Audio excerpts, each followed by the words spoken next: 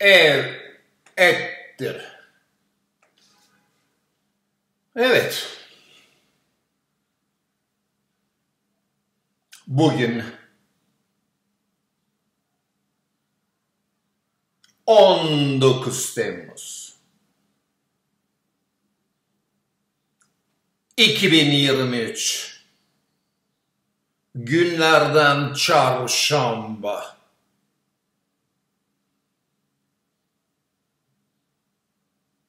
Saat 10.49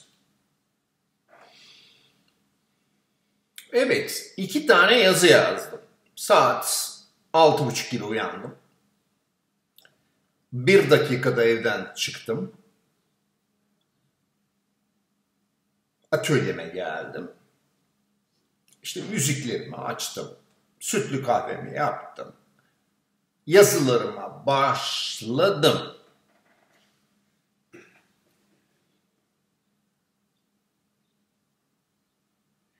Ekranda biraz donmalar oldu. Ekranın içine don kaçmış olabilir mi? Hani donun iki türlüsü var. Bir tanesi iç çamaşırı olan don. Bir tanesi de buz kesmek, donmak terimiyle oluşan durup kalmak dondurulmak olayıdır. Şimdi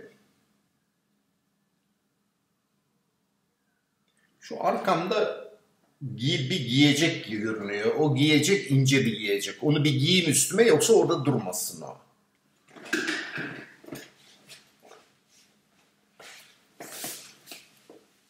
Altında bir giyecek daha var.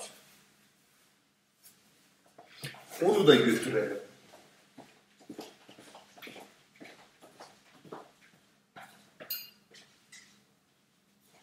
Ve hatta burada da bir giyecek var onu da götürelim.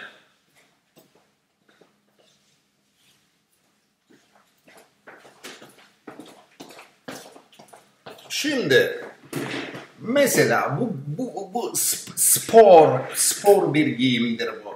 Markası da nedir bunun? Lee falan mıdır? Bu spor bir giyecekti. Yani Hani bu Levi's, Lee, Wrangler falan vardır ya onlardan bir tanesi. Yakaları olan ve bunun bir astarı vardı. Tabii ben astar sevmem. Astarı yüzünden pahalıya mal olur. O nedenle de astarlara düşmanımdır hemen çıkartır atarım. Sadece yüzük kalır. Ve çok hafiftir bu çok hafiftir ve enfes bir rüzgar kesicidir. Çok iyi bir giysidir.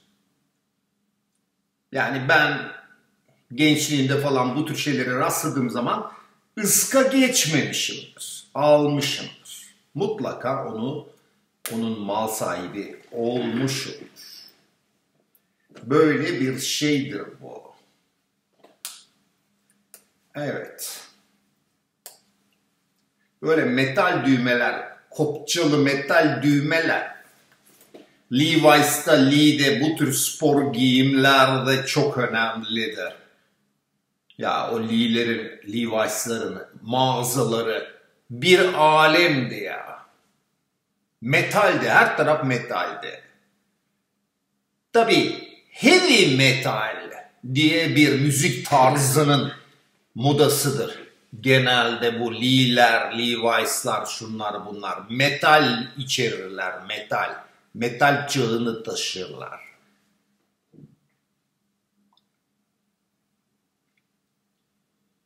Yani giyside metal bulundururlar. Bu açıdan metal çağını temsil ederler. De yani benim en sevdiğim giyim tarzı da budur yani. Budur. Şimdi yani bunlardır yani. Ki gençken hep bunları alırdım ben. Ve hep onları giyerdim. Şimdi ha gençken dediğim hani bu 20'li yaşlar falan.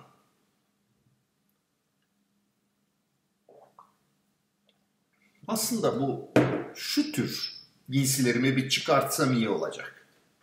Bak yine donmalar oluyor. Bu donmaların sebebi bilgisayarın başka bir iş yapıyor. Bak yine dondu. Olmasıdır. İnşallah sesle görüntü kopmuyordur. Bu donmalar esnasında. Çünkü bazen öyle oluyor. Uzun donmalarda bak hala donma oluyor. Uzun donmalarda sesle görüntü birbirinden ayrılıyor. Öyle videolarım var benim. Görüntü başka bir şey konuşuyor, ses başka bir şey anlatıyor. İnşallah burada kopmamıştır yani. Şimdi arka tarafta bir şey duruyor. Facebook açık. Onu kapatayım çünkü o meşgul ediyor olabilir.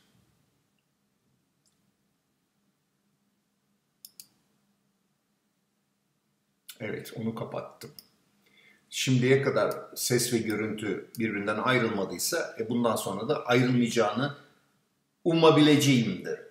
Bak yine dondu.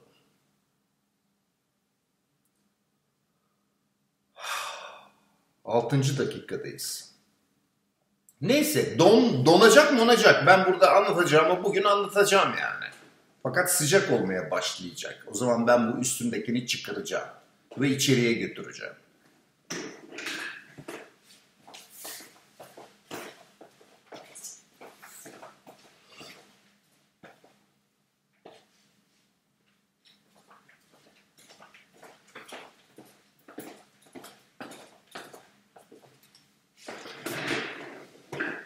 Evet. Bu arada yiyeceklerimiz de var burada. İlk yenecek olan şey en uzun sürede sindirilecek olan şeydir ki o nedir? Peynirdir.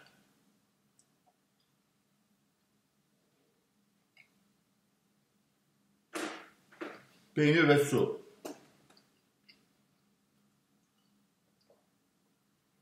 Peynir ve çay olabilirdir. Fakat çay meselesini o kadar önemsemiyorum. Halbuki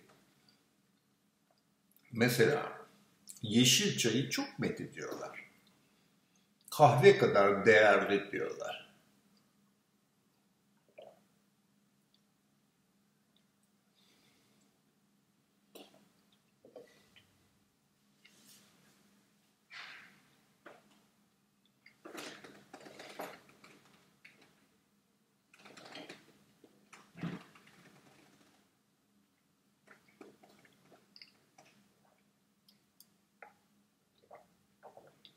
Hep spor yaptım.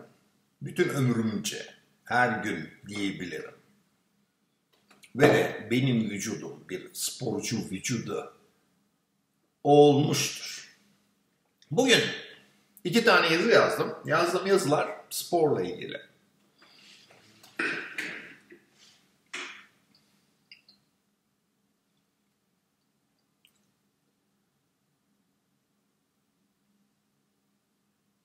Aslında söylenecek birçok şeyi orada söyledim yani. Hani bir tane yazı yazdıktan sonra video daha kolay çekiliyor. Çünkü bir yazının sonrasında başka bir yazı geliyor aklınıza. Onu yazmıyorsunuz, bekletiyorsunuz. O zaman o ikinci yazı da buraya düşüyor. E şimdi ikinci yazı yazıldı. E o zaman burada ne konuşacağız yani? Üçüncü yazıyı mı konuşacağız? Ve fakat şunu söyleyeyim. Benim bir buçuk saatte yazdığım bir yazı. Dolayısıyla ben üç saat yazı yazdım bu sabah. Saatte geldi 11'e. 10.58. 11. 11'den 3 düş. 8. Ya bir saatten fazla sürmüş benim yazı, yazılarım. Ben 7'de başladım çünkü yazıya. 7, 8, 9, 10, 11, dur bakayım. 8, 9, 10, 11, 4 saat oldu ya. İkişer saat mi sürdü yazılar? Neyse gargara yapmayı geçeyim de biraz konu başlayayım. Olmuş 9.52. 10 dakikadır konuşuyorum gargara yapıyorum.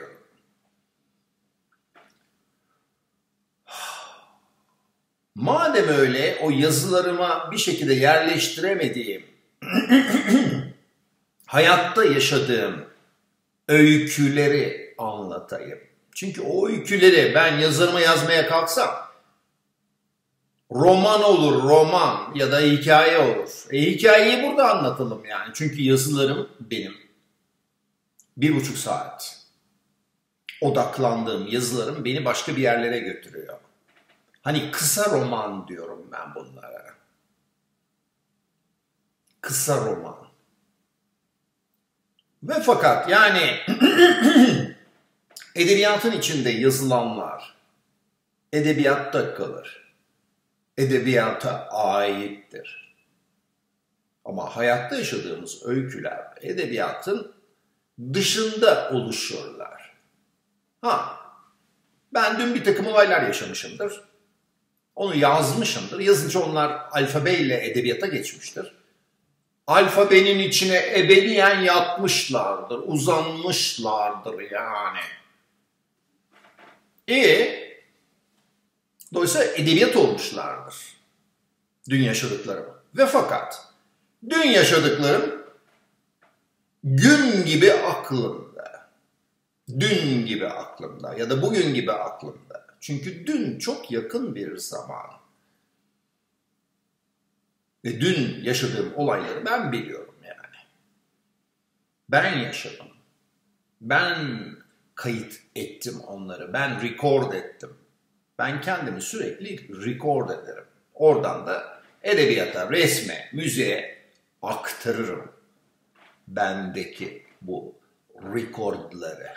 Real olarak yaşadıklarım. Şimdi gelelim real olarak ne yaşadım dün. Şimdi benim son haftalarda biraz bir şikayetim oldu. Ayetlerin şike taraflarına sinirlenmeye başladım. Ayet dediğin aydan gelmiş et demek. Ama şike ayet ne demek? Yani şikeli et, şikeli. Yani bir takım şeylerde şike belirince ya da şirk belirince insanın siniri tepesine çıkabiliyor. Yani şimdi ben bütün ömrümde spor yapmış ve sanat yapmış. İkisi de spor bana sorarsınız. Sporda yapmış olduklarımın devamını ya ben Sanatta ne yaptım? Ha, ne yapacağını bilemeyenler gidiyorlar sanat akademilerine falan yazılıyorlar ve 4 sene falan okuyorlar orada. Sanatta ne yapabilecekleri onlara bir şekilde orada öğretiliyor. Ya da kendileri buluyorlar ne yapacaklar sanatta falan. E şimdi benim tarzım çok daha sonsuza ötelenebilecek bir tarz sonsuza öteleyeceğiniz bir şey bugün süreklileşir yani sürekli olur. Dolayısıyla benim yani genel hayatı yaşama tarzım sporun sporun sürekliliğine temellidir. Sporun sürekliliği ne demektir? Spora çıkarsınız, topunuzu alırsınız. Topunuzu alırsınız, spor sahasına gidersiniz. Spor sahasında diyelim ki yalnızsınız Tek başınıza spor sahasındasınız. Ne yapacaksınız? Elinizde top var. Spor sahasındasınız. Yapacağınız şey spordur. Ve de sürekli spor yapacaksınız. Yani sporun sürekliliği çok önemlidir. Spor sayesinde kişi sürekliliği öğrenir. Bir şeyi sürdürmeyi öğrenir. Yalnız terleme başlayacak gibi. Ben içerideki klimayı yine aktif duruma getireyim. Bugün sanki terlemeyeceğim zannettim ama hayır. Burada ben spor yapıyorum ve terliyorum yani.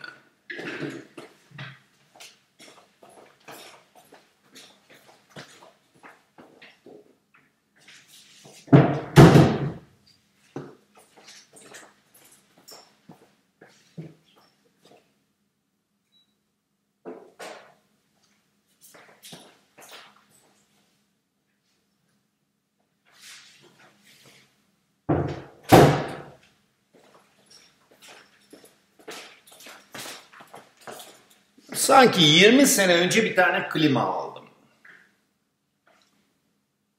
Ortaokul ve lisede yanımda oturan arkadaşımdan ki o makine mühendisi oldu. Şimdi Temsa'nın temsilcisi Ankara'da. Ondan Mitsubishi klima aldım. Satın aldım. Kaliteli bir klima. Ve de sessiz. Yani bir klimada arayacağınız birinci özellik. Benim aradığım birinci özellik sessiz olmasıdır. Çalışırken hiç ses çıkarmamalı.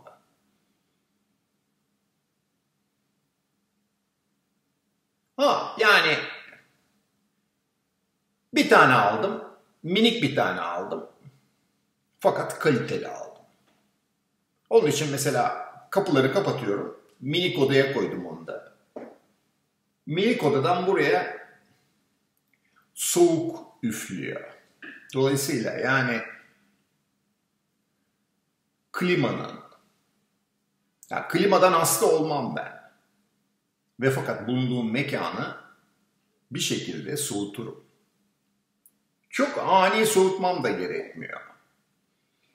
Yavaş yavaş soğur.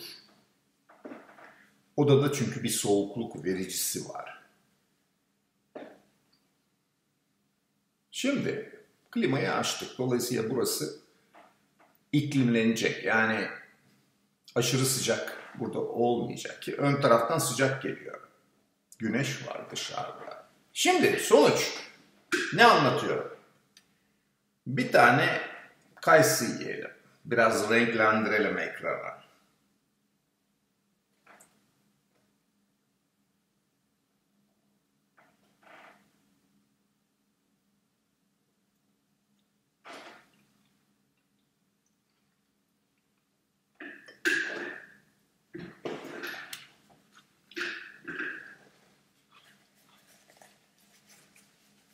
Şimdi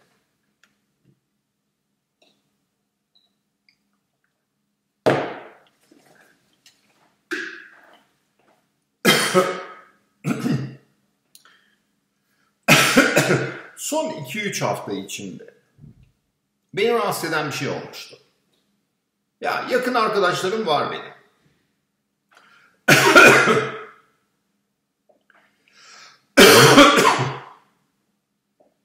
Yakın arkadaşlarımdan bir tanesi belki de en yakınımda duran, en çok yakınımda durmuş olan 25 senedir falan. Kemancı arkadaşım yani kemancı arkadaşım Ankara Devlet Konservatuarı'ndan mezun olmuş. Cumhurbaşkanı Senfoni Orkestrası'nda keman üyeliği yapan, aslında da lakabı Paganini olan bir çocuk. Benden 20 en az 20 yaş küçük. Masa tenisi oynuyorduk Cumhurbaşkanı Senfoni Orkestrası'nda ki ben 40 sene Cumhurbaşkanı Senfoni Orkestrası'na haftada 3 gün gittim yani. Serbest olarak. Kimse beni oraya bağlamıyordu. Ne zaman istersem gidiyordum, ne zaman istersem çıkıyordum. Para falan da almıyordum yani. Haftada 3 gün orada spor olsun diye gidiyordum. Ha, spor olsun diye giderken orada bir de spor sahası kurduk ki onun adı masa tenisi spor sahasıydı ve orada masa tenisi oynuyoruz ve bu kemancı arkadaşımla baktık ki yani 2-3 saat oynuyoruz. Sanki Kırkpınar yağlı güreşlerindeyiz. Saatlerce, saatlerce oynuyoruz ve bana mısın demiyor. Ben de bana mısın demiyorum çünkü ben de sporcuyum yani. Dolayısıyla yani ikimiz de Budistiz, ruhumuzu teslim ediyoruz. Spor bunun için de yapılabilir. Ruhunuzu teslim edersiniz. Ruhunuzu verirsiniz ve akılsız ve ruhsuz kalırsınız. İçiniz bomboş olur. Ha bu bir Budist haldir yani bana sorulursa. Neyse kemancı arkadaşımla biz ikimiz de Budist olduğumuz için öyle diyelim. İkimizin de mağarası bulunduğu için. Tibet'te. Biz 25 senedir konuşuyoruz. Ve fakat şimdi tabii kemancı arkadaşım evlendi. Ailesi, ailesi de müzikçi. Yani bir şekilde benimle arkadaş olmasını bazen kabul edemiyorlar. Diyorlar ki yani bu çocuk müzikçi değil. Sen buna zaman harcıyorsun. Halbuki git para kazan yani. Zamanını başka şeylere ver. Yani haftada biz 6 saat görüşüyoruz. Haftada. E bu 6 saatler nereye gidiyor diyorlar tabii ki. Nereye gidiyor bu 6 saat? Her cumartesi adam gece yok. Cumartesi geceleri yok evde. E bu bir evlilikte bir boşluk oluşturur mu? Ya belki de oluşturur yani. Neyse sonuç olarak bir şekilde benimle olan mesaisi bir şekilde yanındakilerin gözlerine batıyor. Akıllarına batıyor öyle diyeceğim. Sonuç nedir? Sonuçta bir şekilde işte kemancı arkadaşım kendisi geliyor bana. Çok da geçirgendir yani. Birileri içinden geçer, benim karşıma çıkarlar yani. Yani beni tanıyorlar. Murat'la bir şeyler konuşacağız. Gelsin konuşalım demiyorlar. Bana bildirimlerini kemancı arkadaşımın içinde, içinden çıkarak bana ulaştırıyorlar. Bu tabii sinir bozucu bir şey. Kemancı arkadaşımın beynine giriyorlar. Oradan kemancı arkadaşım onların rollerini oynuyor bana. Yani kemancı arkadaşım konuşuyor ama babası konuşuyor lafın gelişi. Ya da karısı konuşuyor öyle diyelim. Bakıyorum kemancı arkadaşımın biçimi değişiyor bir anda. Başka türlü laflar konuşmaya falan başlıyor. Sen müzikçi değilsin falan. Gibi. Çünkü nedir? Ben de piyano çalıyorum. Ben de benim de müzik melekelerim var, melekelerim. Evet ben müzikçi değilim. Dinci de değilim, sucu da değilim, muslukçu da değilim. Muhasebeci de değilim, şu da değilim, bu da değilim yani. Ben ci cu cuyu cudu değilim yani. Dinci falan da değilim. Hani sanatçı mısın deseniz sanatçı da değilim yani. Ama benim müzik melekelerim var kardeş. Var. Müzik melekleri var bende. Müzik melekelerim var. Ha müzik melekelerim var. E, bunun yanında resim melekelerim var. Öyle diyelim. Yazı melekem var. Spor melekem var. Benim içimde dört kişi var. Daha Türkçeleştirelim. Çocukluğumdan beri ben spor yapan, yazı yazan. Ha yazı yazıyorum da yazar mı olmam gerekiyor? Hayır, alfabeyle temas ediyorum. Yazı yazıyorum. Otururum yazarım ben. Yazar mıyım? Evet yazarım. Otururum yazarım yani. Ha, spor yapıyorum. Sporcu muyum? Hayır. Çıkarım ben, sporumu yaparım. Spor melekelerimi ilerletirim, geliştiririm. Yeteneklerimi ilerletirim. Sporcu muyum? Değilim. Ha, resim yapıyorum ben. 3 yaşında babam beni yağlı boya resme başlatmış. E ben bu atölyede 5000 tane resim var benim yaptığım. 5000 resim. Depolarım doludur. Benim resim melekem, ressam melekem var mıdır? Evet vardır. Ben ressam mıyım? Resimci miyim? Hayır. Ben topluma resimlerimi bile çıkartmayan bir adım Niye? Melekemi korumam lazım. Benim resim yapıyor kalabilmem. Melekelerimi işletmem. Meleklerimi korumam. Resimlerimin toplumda var olmasından daha önemlidir benim için. Ha benim sporcu kalabilmem. Sporculuk melekelerimi koruyabilmem. Çünkü sporcu oluyorsunuz, gidiyorsunuz, Birilerinin eline teslim oluyorsunuz. Onlar sizin sporcu yeteneklerinizi hem kullanıyorlar hem eziyorlar. Vücudunuzu da eziyorlar. Sporcu yani kullanıyor adam seni ya da antrenör. Niye? Senin adın sporcu. Muslukçu geldiği zaman muslukçu efendi şunu şöyle yap bakalım falan diye biniyorsun tepesine. Adam cicu yani. Sonuç olarak şunu söylemiş olayım. Bu arada bir şeyi yiyeceğim yani. Ne yapayım? Şu salatalıktan ısırayım ki bu salatalık muhteşem salatalıklardan yine bir tanesi. Muhteşem bir salatalık. Yamuk yumuk barok salatalık.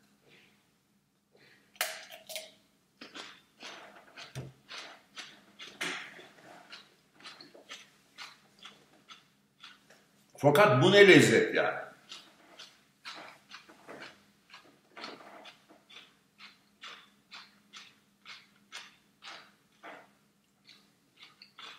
Keşke erkeklerin penisleri de biraz barok penis olsa.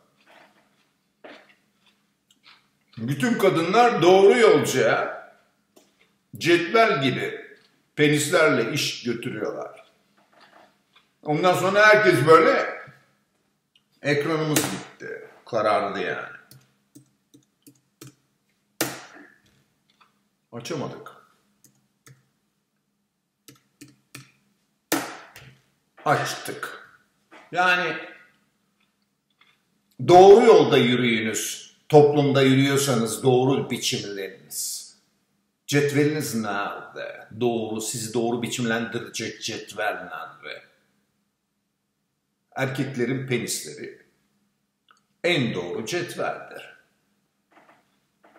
Ha kadınların vajinalarına bakarsanız doğru değildir oradaki yol.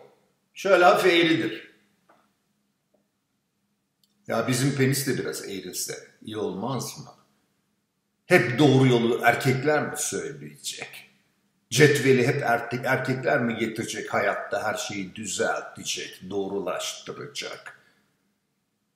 Kadınlar da her şeyi kaydıracak ve eğriltecek. Zamanı sündürecek. Ve de bayıltacak.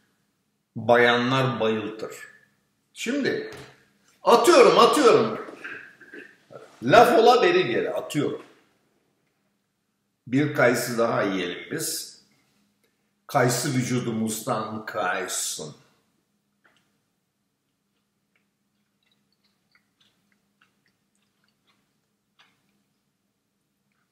Kayısılar da lezzetli ya.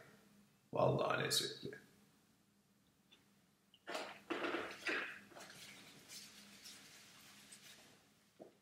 Bütün meyvelerin olgunlaştığı bir zamandayız yani. Tam yaz meyveleri en olgun zamanlarında. Şimdi sonuç olarak ne anlatıyoruz? Ben sporcu olduğumu söyledim. Ha, esas anlattığım şey şu ana kadar. Kemancı arkadaşım bir şekilde çevresindekiler beni ittiriyorlar falan. Demek ki adama biraz fazla yaklaşıyoruz. Türkçe konuşalım bazı sınırları geçiyorum yani. O zaman şu soruyu kendime sorarım. Ya biraz kıymetini arttır, biraz uzak dur. Çok yaklaşınca niye çok yaklaştın diye bu sefer konu olmaya başlıyor. Diyorlar ki biraz sınırı geçti bu bize doğru yaklaştı. Bu müzikçi mi olmak istiyor? Kardeşim ben müzikçi niye olayım ya? Ben müziğe her türlü ulaşımım var benim. Piyanom var istediğim zaman. Bütün müzik aleti bir sürü müzik aletim var. Mızıkam var, flütüm var. Gitarlarım var. Piyanom var.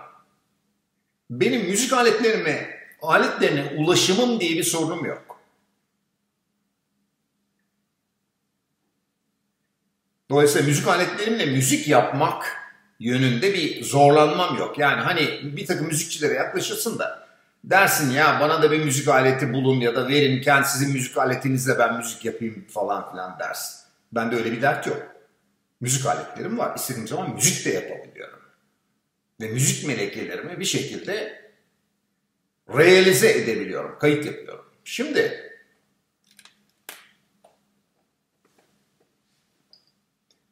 E ben Cumhurbaşkanı Senfoni Orkestrası'nda sanatçı üye olmalı mıyım maaşlı? Eğer Cumhurbaşkanı Senfoni Orkestrası'nın bir senfoni orkestrasının içinde bulunmak istiyor isem. Hayır. Ben Cumhurbaşkanı Senfoni Orkestrası'na 40 sene gittim. Misafir olarak. Ve sanatçılarla ben para almadan onların arasında hani yuvarlandım ya. Neden? Çünkü benim zamanım vardı. Onlar zamanlarını parayla satıyorlardı. Ben zamanımı parayla satmıyordum. Bütün zamanım benimle birlikteydi. Ben istersen müziğe giderim, istersen spora, istersen resme, istersen sinemaya giderim, istersen çıkarım bütün gün şehirde yürürüm. Yıllarca benim hayatım böyle geçti. İşte zamanınız sizinse ve sadece kendi istediklerinizi siz yapabiliyorsanız buna sportif bir hayat deniliyor. Sportif. Tabanında spor olan. Bugünün konusu bu yani. Her şeyinin tabanına spor yerleştirilebilir mi? Esas konu bu yani. Her şeyin tabanında spor olmalı mıdır? Ya da niye olmalıdır? Yani olmazsa olmaz mıdır spor? Yoksa yani hani olsa da olur olmasa da olur mudur spor?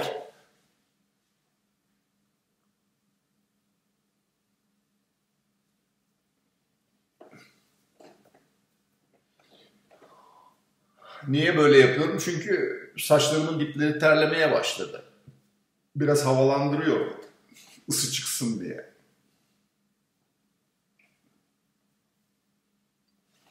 Evet, şimdi sonuç olarak konuştuğum konu nedir?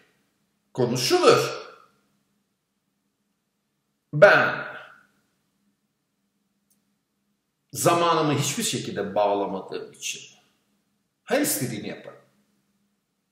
Spora ulaşımım da vardır. Yani şimdi mesela toplumlar ulaşımı engellerler. Toplum mimarları ve tasarımcıları, toplum mühendisleri ulaşımı engellerler.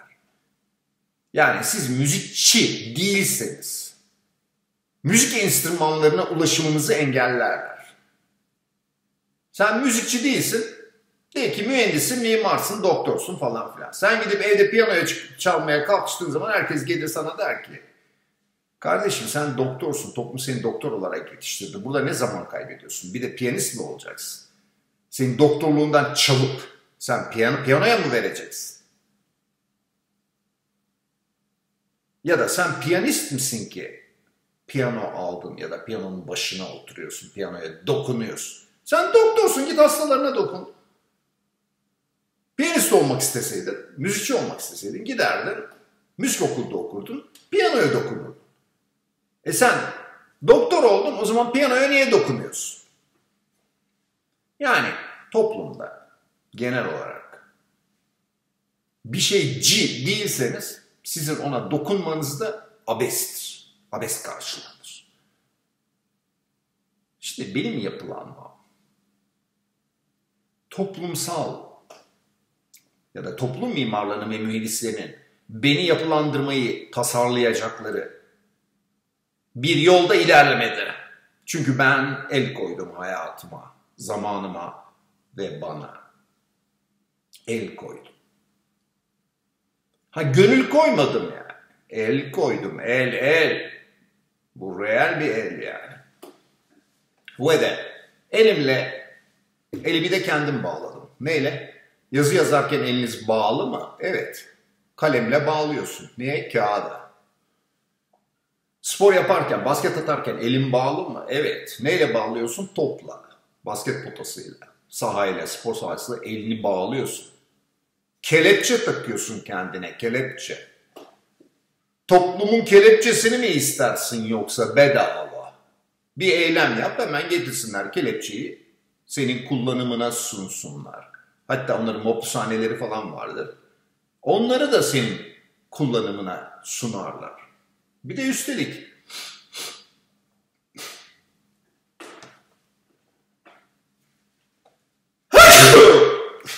klima buraya ulaşmaya başladı diyebiliriz bunun için. Biz yine de burnumuzu açık.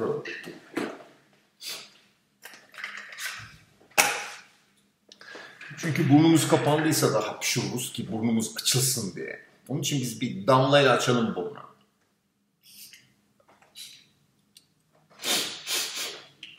Şimdi ne anlatıyoruz? Bir mapushanede mesela ahçı var, bekçi var, bina yapmış sana kardeşim. Seni mapusa, mapusu attığı zaman bile sana bir sürü olanak sunuyor. Toplum, toplum vericidir.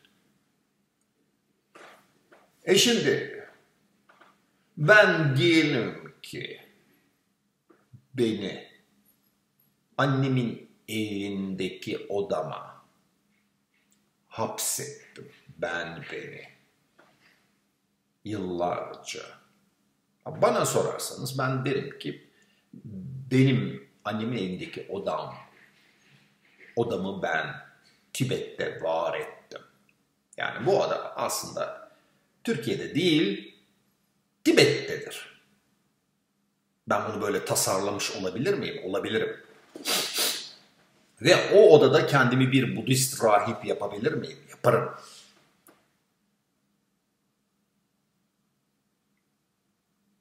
Bunun için de elimi, vücudumun elini ve vücudumu bir şekilde bu toplumdan geri çekebilmiş olmam gerekir. Nereye? Odama. Ben odamda uzun süre durabilir miyim? İşte mapusluk da buradan geliyor. Mapus olmak. Bir, bir insan odasına giriyorsa ve bütün gün çıkmıyorsa, bir ay çıkmıyorsa bir ay odasında buna mapusluk denir. E şimdi bu oda, bu oda devletin benim için ya da suçlular için imal ettiği, mapushanelerin masraflar ettiği bir odası mıdır? Hayır. Ben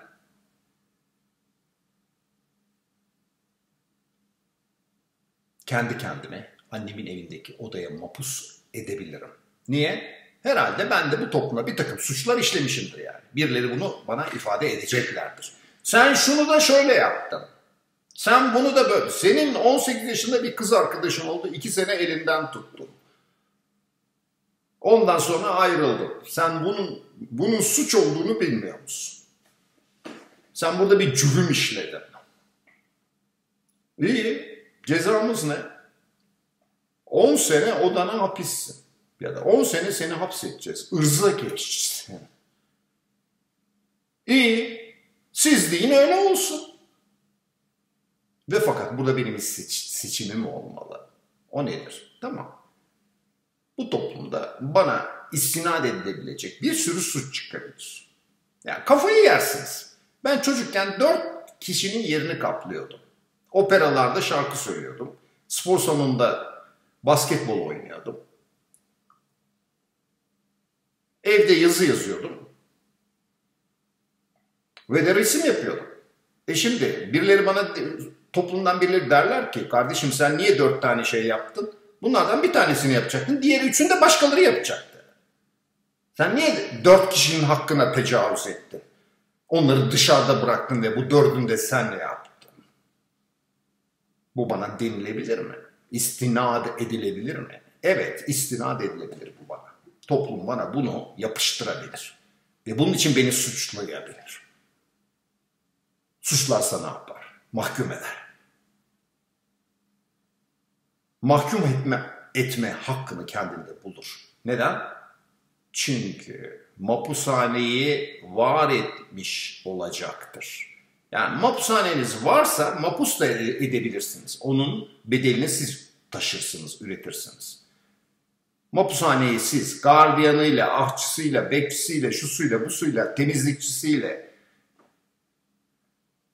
çamaşırcısıyla, bilmem necisiyle siz o mapushaneye bir şekilde masrafını karşılarsanız o zaman mahkum da edersiniz. Çünkü bir şey vereceksinizdir. Ne vereceksiniz? Mapusluk vereceksiniz. Bir mapus odası vereceksiniz. Mapushane vereceksiniz. Kimlere? İnsanlara. Dolayısıyla yani bir mahkeme bir insanı mahkum edebilir. Niye? Size bir şey vermek için. Ceborut olduğu için değil. Tam tersine size bir şey vermek için. Ve fakat ben şimdi böyle bir toplumda bir şekilde kendimi ayırma, ayırmayı 20 yaşımda talep etmeye başladıysam 20 yaşıma kadar ben toplumun içindeydim. Atatürk Spor Salonu'nda basket oynadım ben 4 sene. Kaptan, PTT takımının kaptanı olarak. Ha, nereden basketbolcu oldum ben? Kendim her gün topa çıkıyordum. Kendim top öğrendim. Yanıma gelen çocuklarla maç kurdum. Sporumu geliştirdim, basketbolumu geliştirdim. Kendi kendimi yetiştirdim. Sonra koç geldi. PTT takımını kuruyorum ben gelir misin dedi. Gelirim dedim. O zaman ben PTT takımının başına geçtim. Ve oradaki çocukları yönettim.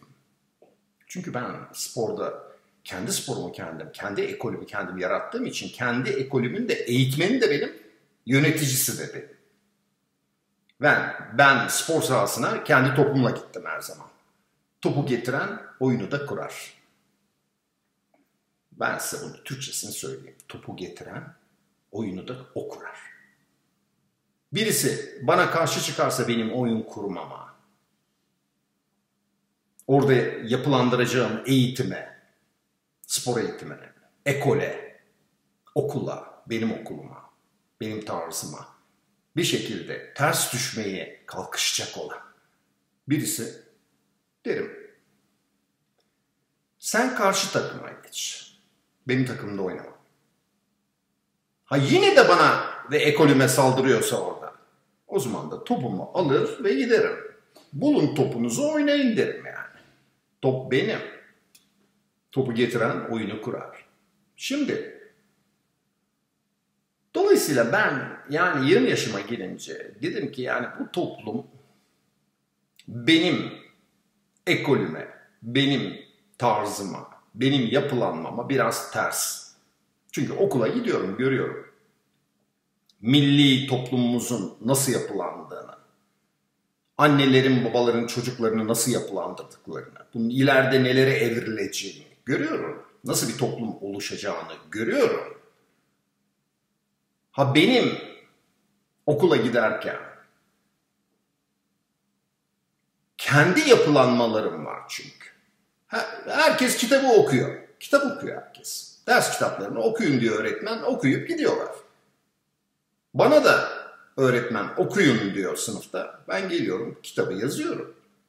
Alfabeyle temas ediyorum. Benim yani okuma tarzım alfabeyi yazmak şeklinde oluşmuştur. Ha, hiç kimse spor yapmıyor. Evlerinde oturuyorlar. Derslerini çalışıyorlar ailelerinin dizinin dibinde oturuyorlar. Orada konuşuyorlar, laflıyorlar, sohbet ediyorlar. Ben ne yapıyorum?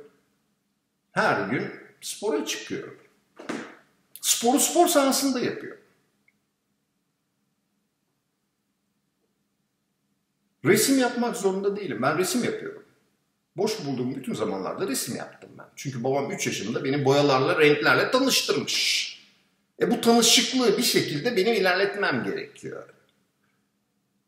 E, resim yapan, yazı yazan, alfabeyle temas eden, spor yapan, bir de müzik yanım da var benim. Yani babam çocukken tuttu kolumdan. Zaten çocukluktan beri bana şarkı öğretmişler.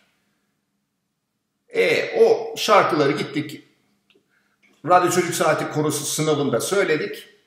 Adamlar dediler tamam sen gel bakalım buraya seni radyo evine alıyoruz. Radyo evine girdik orada operalarda çocuk rolleri vardı.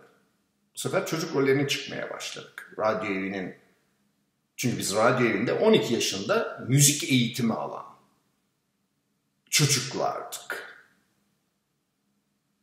Yani konservatuarda ne bileyim 3. sınıfta falan öğretilecek şeyleri bize 12 yaşımızda öğretmeye başladılar yani. Yani benim koro hocam konservatuarın Solfej ve Koro bölümü başkanı Profesör Muzaffer Arkan. Muzaffer Arkan'ın eline ben 12 yaşında düştüm yani.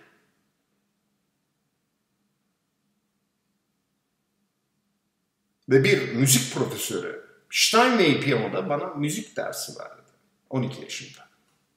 E şimdi yani bende müzik melekesi var mı? E var tabii. Yoksa beni yani 2500 çocuk arasından 40 tane çocuk seçeceksiniz. Bir tanesi de ben olacağım. Yani müzik kulağım olmasa, müzik melekelerim olmasa beni seçerler miydi?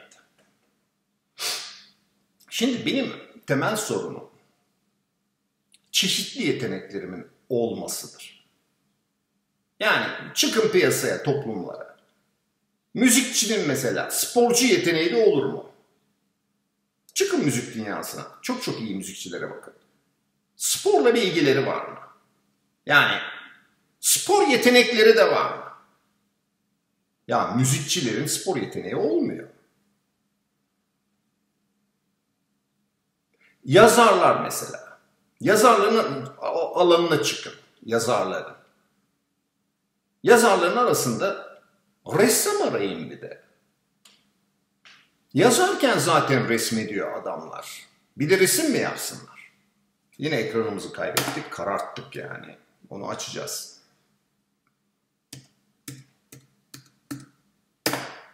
Evet açtık.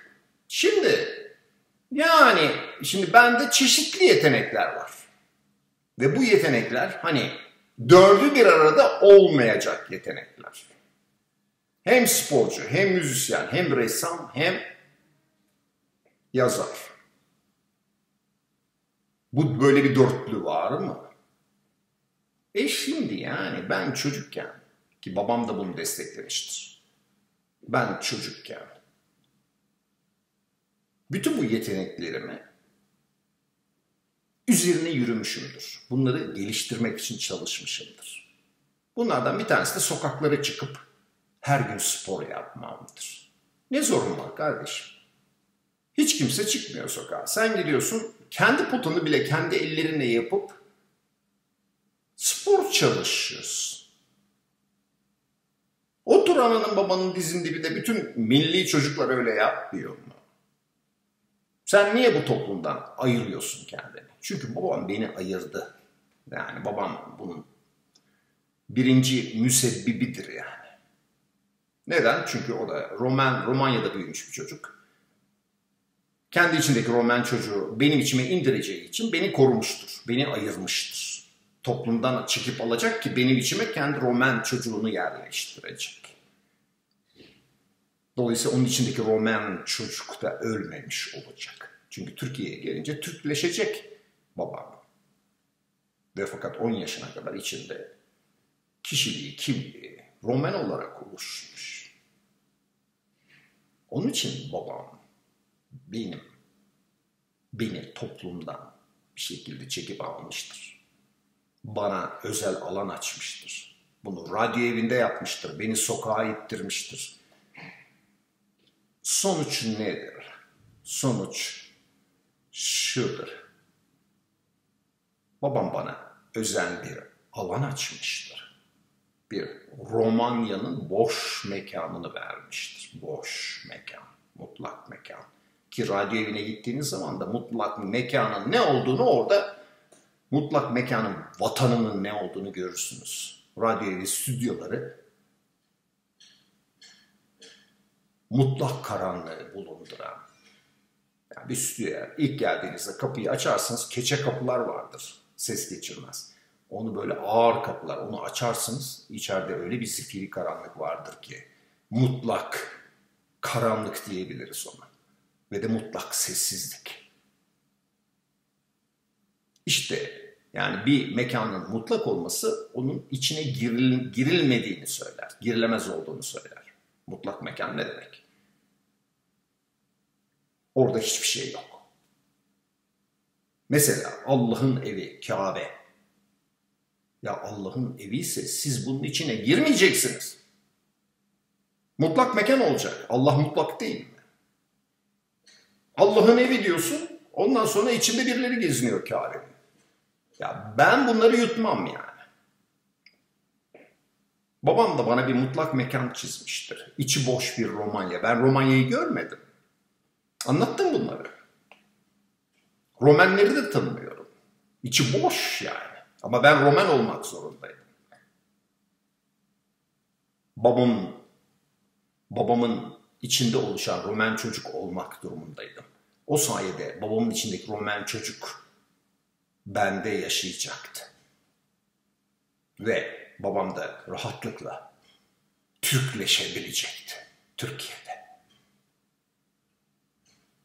Ve fakat işte benim bu boş uzayım, mutlak uzayım bana yeteneklerimi bu uzay içinde yapılandırmam için bir alan verdi. Bu bir şans mıdır? Evet ben bunu şansa çevirdim. Ha babam benim içindeki Roman çocuğu sonradan kendi menfaatleri için kullandı. Türkçe konuşalım yani. Türkiye'de çıkamayacağı yerlere, Türkiye Cumhuriyeti'nin onu yerleştirdiği yerin çok üstüne çıktı. Beni de katarak kendisine. Yani babam ikili bir vücut olmuştur. Hem benim sayemde Romanyalılığı sürmüştür, büyümüştür, ilerlemiştir, serpilmiştir. Bir Romanyalı bir çocuk gibi ya da insan gibi ben genç gibi büyümüş ve serpilmişimdir. Ve de babam, babamın bir şekilde ben eklenmişimdir. Ki babam Türkiye Cumhuriyeti'nin ona verdiği yerden çok daha yukarılara çıkabilmiştir benim sayemde. Yani benim bu boş uzayı benim bu boş uzayı beni hem babamın Romanyalısı yapmıştır. Ona eklenecek olan Romanyalı vücut hem de benim kendimi başka bir formatta, boş bir uzayda, boş bir mekanda, mutlak mekanda var etme olanağım olmuştur. Yani ben bir taraftan Romanyalı olurken bir taraftan da bugün olduğum ben oldum. Ki ben bugünkü aslında yazılarımda bu da çok önemli yer tutuyor. Yani benim içimde dört tane insan var. Dört tane yetenek var, dört tane beceri var. Temel olarak. Benim kendime yani insanın yetenekleri bir sürüdür mesela. Araba kullanıyoruz, bisiklet kullanıyoruz. Kardeşim senin yeteneğin var mı? Var. E bunları saymıyoruz biz. Ben öğretmenim mesela. Beş sene öğretmenlik, kimya öğretmenliği yaptım liselerde. öğretmenim diyor muyum? Bunda bir disiplin olarak söylüyor muyum? Ha, öğretebilir miyim? Öğretebilirim. Ama ben disiplin diye dört tane sanatsal disiplin alıyorum.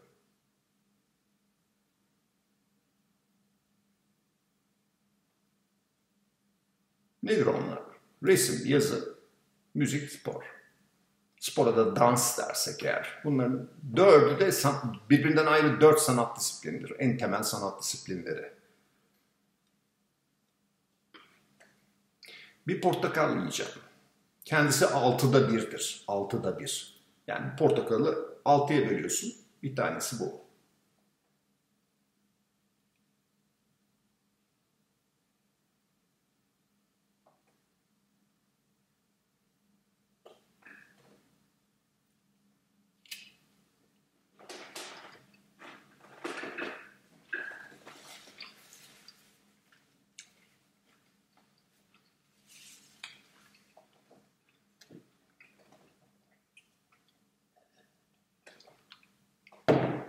Şimdi bu arada peynirimiz duruyor.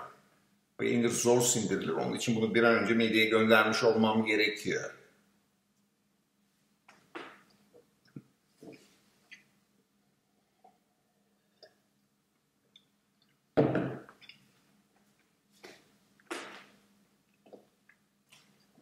Evet peyniri bitiriyoruz.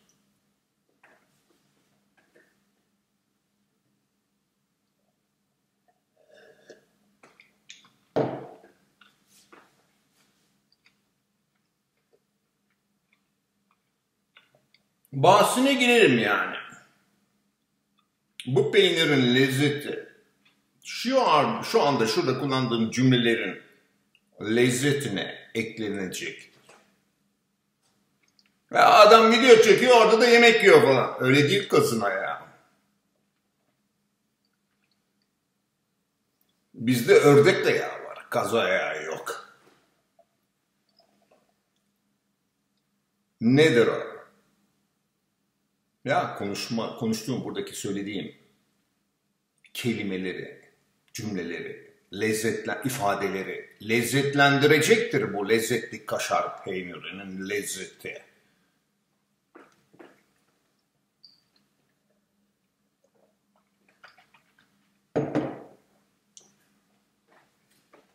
Bir de salatalık ısıralım ki ağzımız temizlensin.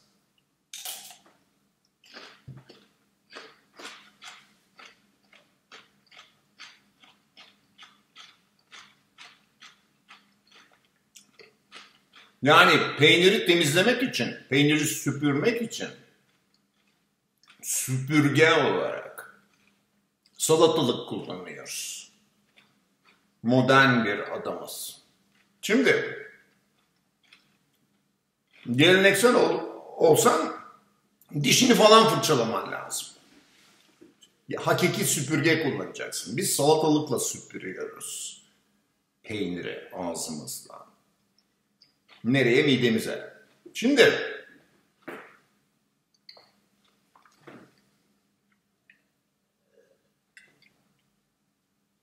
salatalığı da suyla süpürüyoruz. Şimdi sonuç olarak ne konuşuyoruz?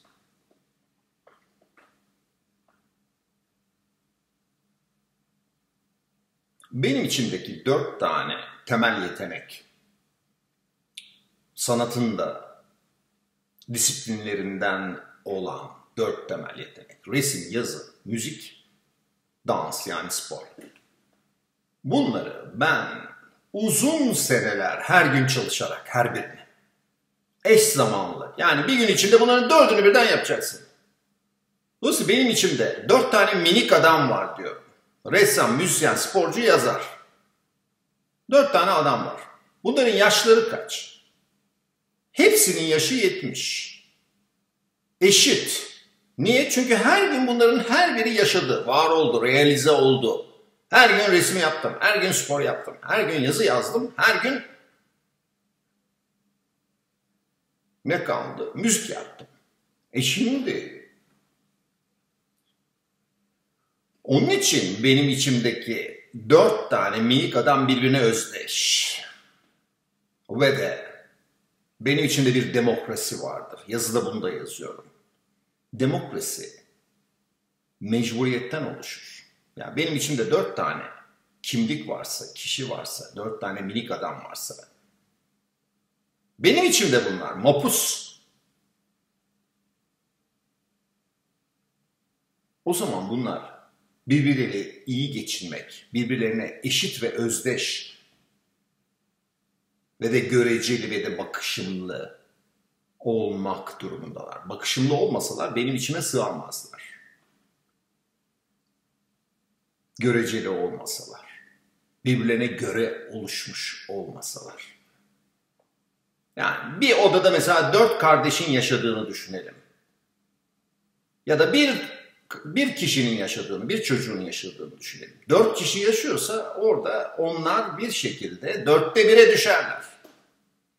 Birbirlerine göre oluşurlar. Biri camdan bakıyorsa öbürü der ki ben masayı tutuyorum. Göreceli yani.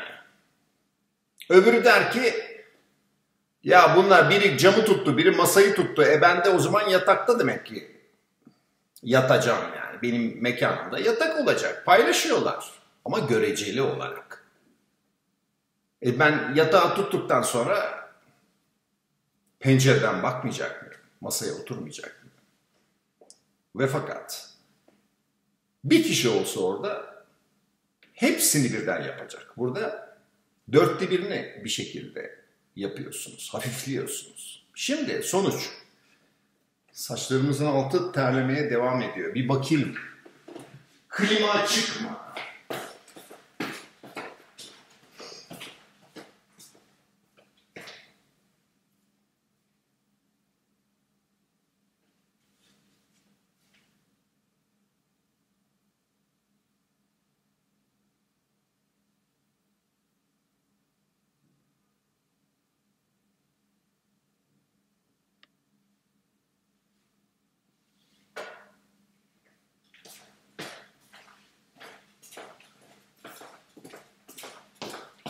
Açık da ekonomik modda çalıştırıyorum. Fanları falan açsam buraya birer hemen gelir. Ama o zaman da şifayı kaparım yani. Çünkü biraz terlediysem ki şu anda biraz terledim mesela. Şimdi klima gelse pat diye vursa bana şifayı kaptık işte. Kaslarım sertleşir, mertleşir yani. Sonuç. Sonuç şudur. Ben toplumdan, yani babamın da marifetini eklersek, o da beni toplumdan ayırmak istemiştir. Kendisi de zaten Türk toplumundan ayrıdır. Bir, çe- bir çeşit Romandır, Romanyalıdır. Beni de ayırmıştır. Ama benim ayrılma koşullarım babamkin, babamınkinden daha sert olmuştur. Çünkü ben Türkleşemedim, Romanleşemedim. Ben mutlak alanda ben dondum kaldım yani. Ha, orada da kendimi var ederek ancak beni benle çoğalttım. Romenlerle, Türklerle falan değil, Türkiyelilerle falan değil. Beni benle çoğaltmak durumundaydım. Çünkü yani babam beni hakikaten sağlam ayırdı toplumdan. Türk toplumundan beni geri çekti. Niye Roman yapacak? E Roman, Romanya mı gönderdi Roman yapmak için? Ya Romanya'da bir internette baktım. Romanya'da bir kızlar var. Böyle bir vaka yok ya. Ben bir Roman oldum. E Romenlerin kızları manyak güzel. Manyak yani. Manyak ötesi güzel kızlar. E dolayısıyla bende bir özlem olmaz mı ya? Roman olacaksan çok güzel kızlar olacak senin ülkende. E nerede burada çok güzel kızlar? E Roman olduysan kanın çekecek. Senin atomun bunu talep edecek. Böyle bir çekim gücü var ya Roma, Romanyalıların. Oksijen bol Karpatlarda. Bol oksijen tüketenler biraz başka türlü olur yani. Ya o internette bazı in- Roman, Romanyalı kızlar gördüm. Yani dünyanın en güzel kızları Türkçe konuşayım mı size? E şimdi ben Türkiye'de Roman kız mı arayacağım? Türk kız mı arayacağım? Türkiye'den zaten geri çekildim. Ha Türk kızlarına yazılacak olanlar zaten milli bir çocuk olarak yetiştirildiler yani. Türk, Türkiye'lileştirildiler. E ben Türkiye'lileşemedim. Babam Türkiye'lileşti çünkü. E şimdi yani benim pozisyonum zor bir pozisyondur. Ve de kendi başıma baş etmek zorunda kalacağım bir pozisyon idi.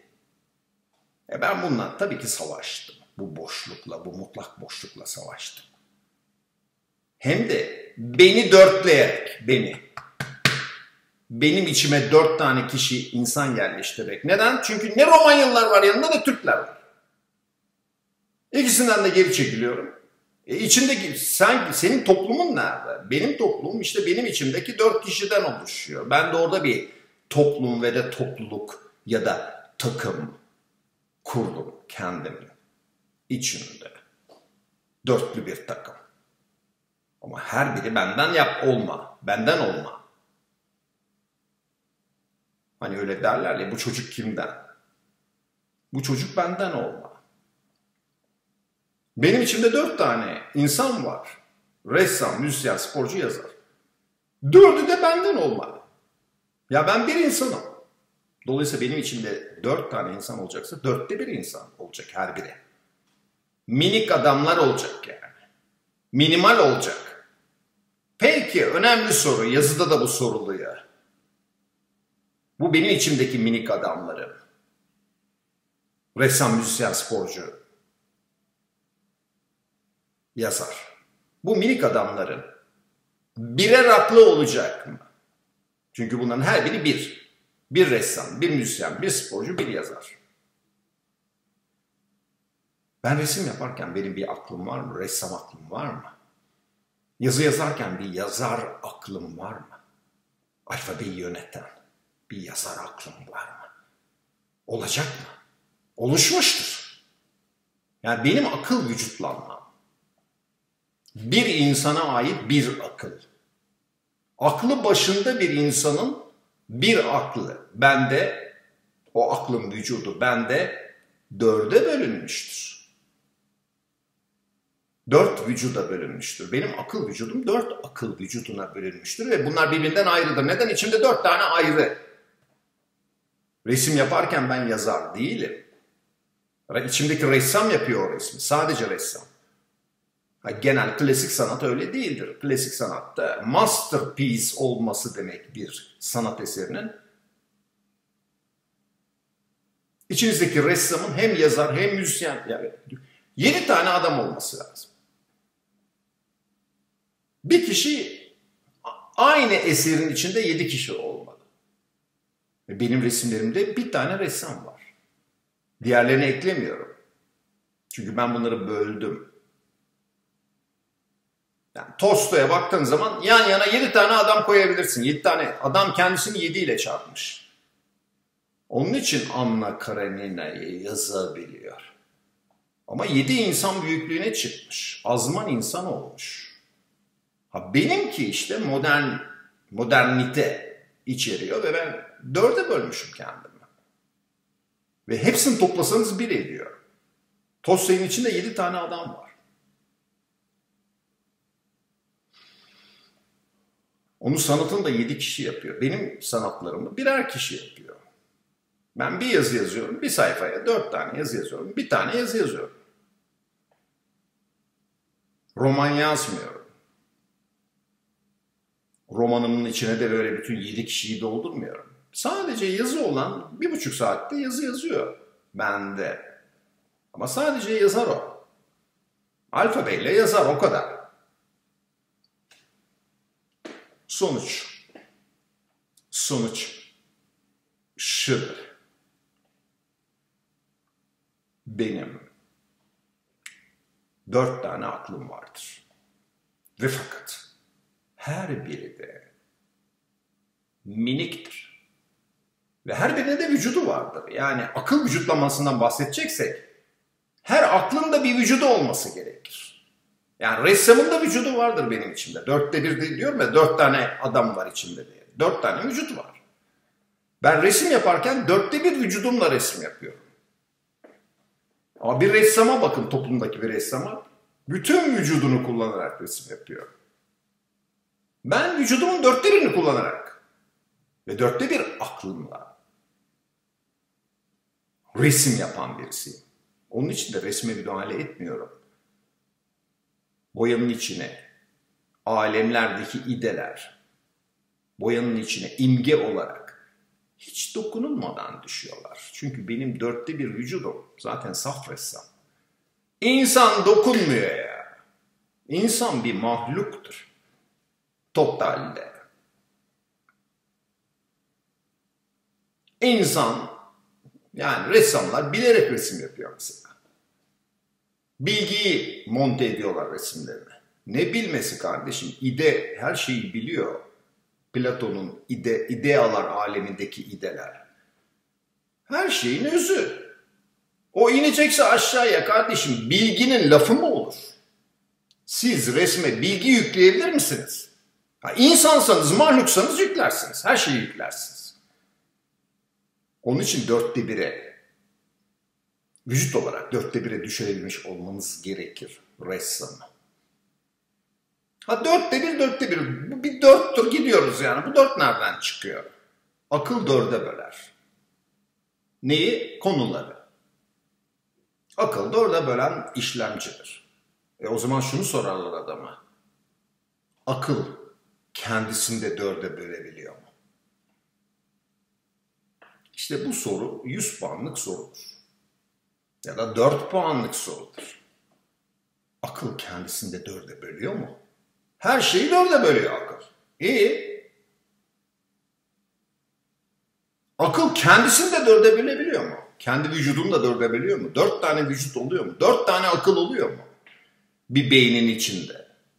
Gidin insanlara bakın toplumda. Herkesin beyninin içinde bir tane akıl vücudu var. Bir akıl var. Bir insanda bir akıl var. O da aklı başında ise. E bende dört tane akıl var. Ve fakat bu dört tane aklın vücutları minik minik. Ha, minik olması çok çok önemli arz ediyor.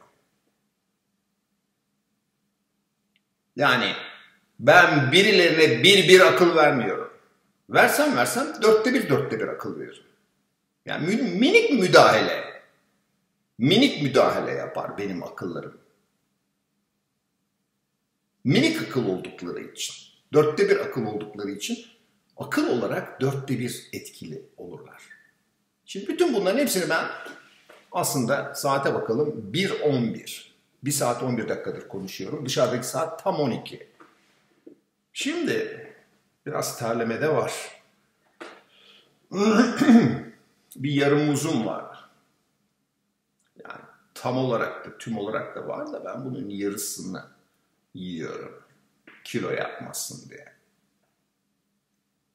Evet muzumuzu, yarım muzumuzu şimdi yemeye başlayacağız. Evet yarım muz budur.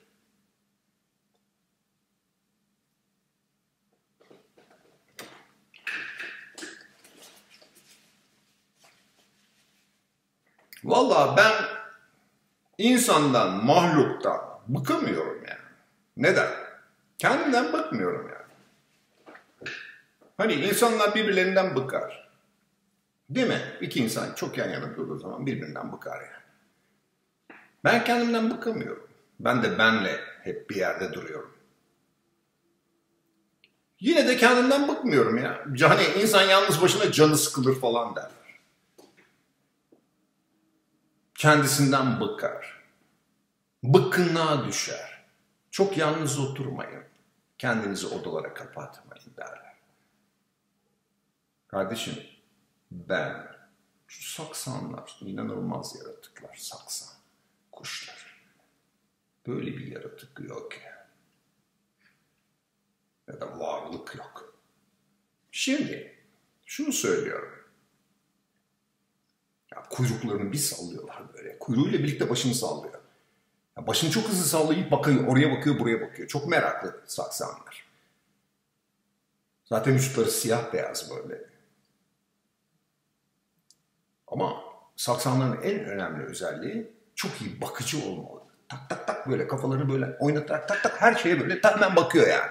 Çok da akıllı. Tak tak baktığı zaman her şeyi görüyor. Aklıyla görüyor. Yani bir saksağın yanına yaklaşamazsın. Anında seni hissettiği anda vın diye gider. Nereden gördün beni, nereden algıladın ya? İşte onun için böyle hızlı hareketler yapıyor başıyla. Bakıyor, meraklı. Ama işte o başını hareket ederken vücudun dengesini kaybedebilir. Diyelim ki dalda duruyor ya da buraya geliyor benim balkon demirinde duruyor. Dengesini kaybedebilir vücut olarak. Orada da işte saksağının kuyruğu var ya kuyruğu. Saksağının kuyruğu. Kuyruğu. Orkestra şefinin şeyi gibi ya. Değneği gibi. Adam başını hareket ettirirken kuyruğu da tak tak tak hareket ettiriyor ve hiç kımıldamadan baş hareketi yapabiliyor. Bu kadar kıvrak, zekalı, akıllı bir varlık yani ben görmedim yani. Bu da benim kusurum olsun. Başka göremediğim için. Fakat saksanlar gelip balkona kondukları zaman beni büyülüyorlar ya. Ha şimdi bunu geçelim. Saksan konusunu geçelim. Bir, biz bir kayısı bulalım ve kayısı yiyelim. Bir kayısıyı vücudumuzun içinden kaydıralım.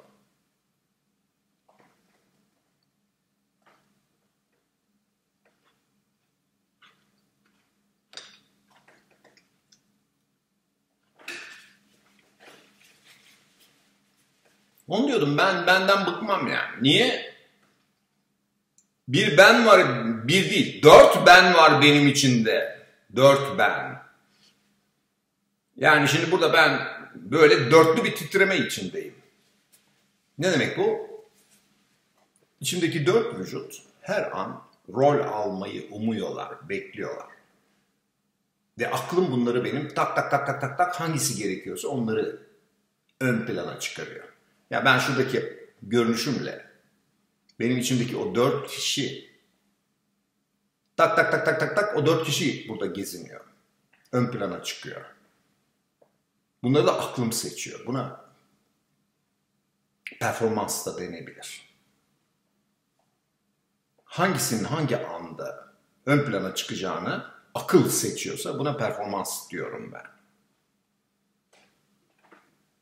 Neyse ben kendimden bıkmam yani onu söyledim.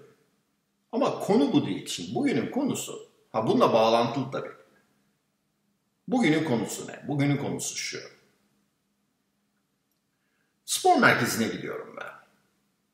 Ankara'nın, belki de Türkiye'nin en büyük spor merkezi. Sports International. E bu spor merkezinde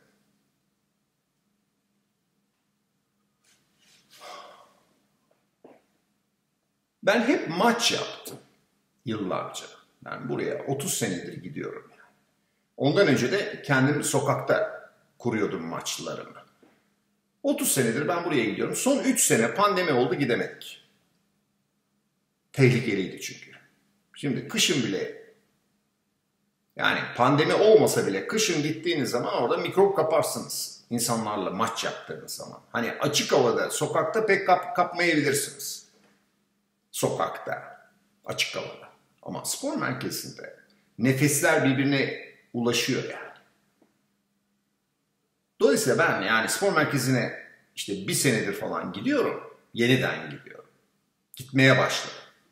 Ve fakat insanlarla maç yapmıyor. E şimdi bu bütün hayatımda ben maç kurmuşken spor alanlarında maç kurgulamışken, kurmuşken, kendi topumla gidip orada kendi takımımı alıp bir spor müsabakası kurgulamışken, bir maç kurgulamışken e son 3 sene gitmeyince yani işte müzikçi arkadaşım oradan ya da onun yanındakiler oradan yakınıyorlar. Diyorlar ki ya bu müzikçi olmadığı halde bizim aramıza devrildi. Ha, Cumhurbaşkanı Sefon Orkestrası'na ben giderken buna dikkat ediyordum. İnsanlara, o kuruma fazla yaklaşmamaya. İçindeyken bile uzak duruyordum.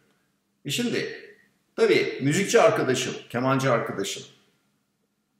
E kanka gibi konuşuyoruz 6 saat. Dolayısıyla onun beyninin içindekilerin bölgesine de ben bir şekilde düşüyorum. Hani bunu şöyle ben adlandırıyorum. Ben bir şeylerin içine düşerim. Sporda topun içine düşerim. Spor yaptığım insanların içine düşerim. Resimde boyanın içine düşerim ben. Aklım bile iner oraya. Aklım bile düşer boyanın içine. Ben müzik yaptığım zaman ruhum, aklım, vücudum her şeyin müziğin tabanına iner iner düşer. Yani ben devrilen bir adam. Çok güzel ayağa kaldırırım kendimi. Fakat çok güzel de deviririm yani. Hani boyu devrilse, devrilesice diye bir laf vardır. Boyumu, bütün boyumu, bütün vücudumu pat diye deviririm ben. Devirebilirim yani. Vurdum mu indiririm yani kendim dahil. E şimdi yani ben bir şeylerin içine devrileceğim kardeşim. E spora devrilirken, sanata devrilirken, boyaya devrilirken, alfabeye devrilirken ben bunlardan birkaçını ortadan kaldırırsam o zaman yanımda bulunan insanların içine devrilmeye başlarım. Onların sınırlarının içine devrilirim. Ben böyle hayatta, toplumda Hani geri duran, kendini geri çeken, mağrur, kibirli edaları edinen, kendisini ayıran, ben akıllıyım, hepinizden geri çekiyorum kendimi, neden ben akıllıyım falan diyen bir tip değilim. Tam tersine. Ben her şeyin içine düşen bir tipim. E o zaman da çeşitli şeylerin içine düşeceksin ki benim işte çeşitli yeteneklerimin olması benim bu her şeyin içine düşme. Yani önüme bir bok çukuru çıkarın onun içine bile düşerim yani. Uçurum, uçurumun kenarına getirin beni o uçurumun dibine de düşerim. Yine ek- ekran gitti. Açtık ekranı. Yani ben çok mükemmel ayağa kalkarım. Ressam olarak ayağa kalkarım. Resmi ayağa kalkarım. Müzisyen olarak ayağa kalkarım. Müziği melekelerimle ayağa kaldır. Yazar olarak da böyle. Sporcu olarak da böyle. E şimdi ben sanata ve spora onların içine devriliyorken yıllarca benim psikiyatrik sistemi böyle kuruludur. Sınır problemimi insanlarla zaten onlardan geri duruyorum ya. Babamın Roman uzayı sayesinde. Kendimi ayırmak zorundayım ki Romenleşeceğim yani. O bana bir vazifedir. Babamın bindirdiği vazife. Ama babam bu vazifeyi bindirirken de o boşluk uzayını da bana sağlayandır yani. Beni koruyan, o boş uzayı bana verendir aynı zamanda. Ha orada Roman'da olacaktım ben ama bu boş uzayla kendimde başka bir şeyler oldum yani. Ve fakat işte bu dörtlü bir insan olmaya kalkıştığınızda bir şeylerin içine düşme ihtimaliniz çok fazla. E bunda nasıl dengelersiniz? Çeşitli şeylerin içine devrilirsiniz. O zaman ne bileyim bir tek şeyin içine devrilmezsiniz. Bir kadının mesela içine devrilmezsiniz. Orada da bir uçurum var. Kadınların bacak aralarında bir uçurum var. Onun içine falan düşmezsiniz yani. Ki ben düşmedim yani. Öyle bir kadın uçurumunun dibine düşmedim yani. Niye? Çünkü ben spora düştüm. Sanata düştüm. İşte resimlerime düştüm, yazılarıma düştüm. İnsanların içine düşmedim. Dolayısıyla müzikçi arkadaşım bana bunu belirtiyorsa e, o zaman ben hakikaten yani bir şeylerin içine düşmeyi bırakmışımdır ki insanların içine falan düşüyorumdur ki yani müzikçi arkadaşım çok nezaketli bir çocuk yani. Ve fakat yani onların içine düştüğün zaman da sen müzikçi değilsin diye bir tepki de yani çok nezaketli bir tepkidir. Bu ki doğrudur. Doğru sözü ne denir? Ben müzikçi değilim yani hakikaten. Onlar da müzikçi yani. yani eşi de Cumhurbaşkanı Senfoni Orkestrası'nda. Kendisi de Cumhurbaşkanı Senfoni Orkestrası'nda. Babası da Cumhurbaşkanlığı Senfoni Orkestrası'nda. Yeğeni de operada Kuzeni de operada. Bunların hepsi klasik batı müziği sanatçıları. Dolayısıyla müzikçi bunlar. Şimdi konu bu değil tabii. Konuyu ve fakat ben buraya geldim yani. Saat 1 saat 24 dakika oldu. Dışarıdaki saatte 12 13. Şimdi yani iki saatte biter bu video herhalde yani. Çünkü vuruyor. iki saatte vuruyor benim videolarım. Şimdi sonuç olarak yani ben demek ki spor ve sanatta resim yapmıyorum ya. Boyanın içine düşmüyorum. Düşe düşe kardeşim bir alfabenin içine düştük. Yani orada da tutuyorum. Yazılarımda ne yazıyorum ya? Diyorum ki alfabe benim amımdır diyorum. Yani benim uçurumumdur diyorum. Ya bütün kadınlar, bütün kadınlara hakaret gibi konuş, konuşmuş oluyorum, yazmış oluyorum. Yani bir kadın mesela okuyor, ben orada ammam yazıyorum kardeşim. Ama ondan sonra diyorum ki alfabe benim amımdır diyorum. E, bu kadar da çağdaş olmana gerek var mı? Tek bir şeyin içine. Kadınların amına düşmüyorum ama ne bileyim alfabenin içine düşüyorum falan. Şu, aman ne kadar çağdaşsın ya. Ya o kadar da çağdaş olma. Biraz modern ol. Git modern resim yap.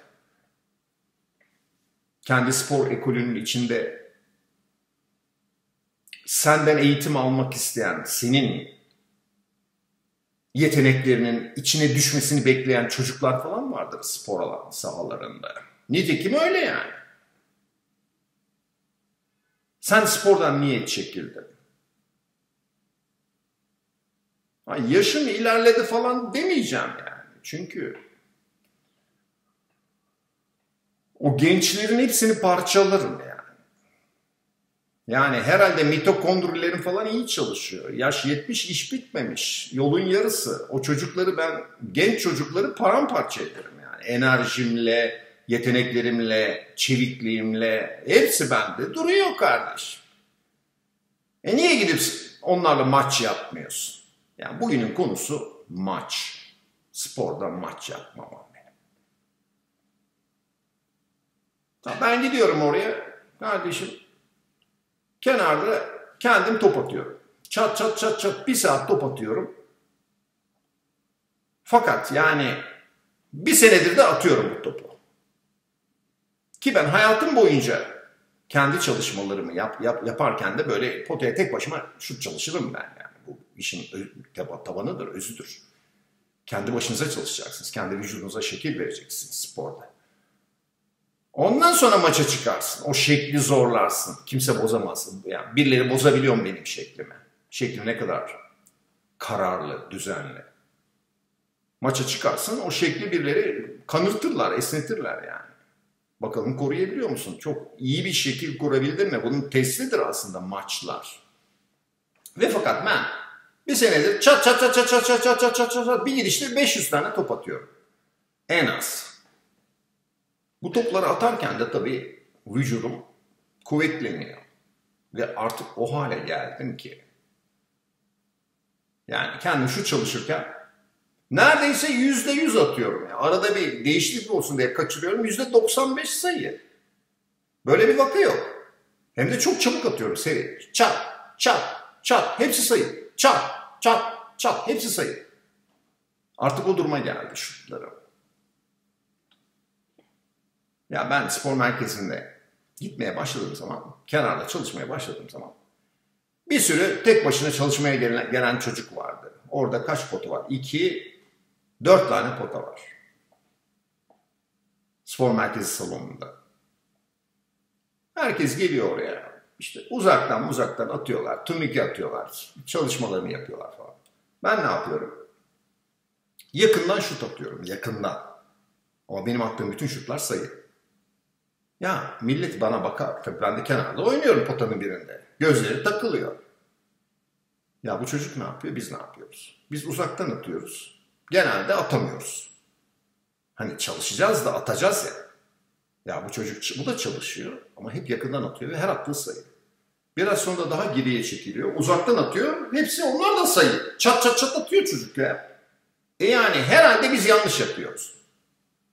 Demeye başladılar salonda çalışan çocuklar. Benim ben çalışırken onlar da çalışıyor. Ondan sonra zaman ilerledi, aylar geçti. Baktım hepsi tek tek potaya gittiler. Yakından çat çat şut çalışmaya başladılar. Boyadım ben onları. Benim yaptığımın daha doğru olduğunu düşündüler. Ve hepsi orada şut çalışmaya başladı tek tek. Yakından şut çalışmaya başladılar. Ha, dün de yani bir şekilde bir sürü olay bir araya geldi ve ben dedim ki ya sen burada kendini kasıyorsun. Tek başına şut atıyorsun. Kimse de gelip sana çünkü görüyorlar çat çat atıyorsun bir iş yapıyorsun abi. Gelip seni bozmak istemiyorlar. Maç teklifi yapmıyorlar. Dedim ya sen git şurada bir maç teklifi yap çocuklara. Çoktan da, da maç yapmıyorum. Gittim çocuklara maç teklifi yaptım. Tabii ki dediler. Topu da ben götürdüm tabii. Oyunu da ben kuracağım. Orada bir oyun kurdum. Bir saat falan sürdü. Ya ben ne çal bir adamım. Benim takımımdaki herkese karışıyorum. Eğitim veriyorum. Bütün bildiklerimi, eğitimimi çocukların beynine indiriyorum. Yeteneklerimi indiriyorum. Ressamlığımı indiriyorum. Yazarlığımı indiriyorum. İçimdeki dört kişi çocukları kuşatıyor. Ki bugün yazdığım yazılarda şu var.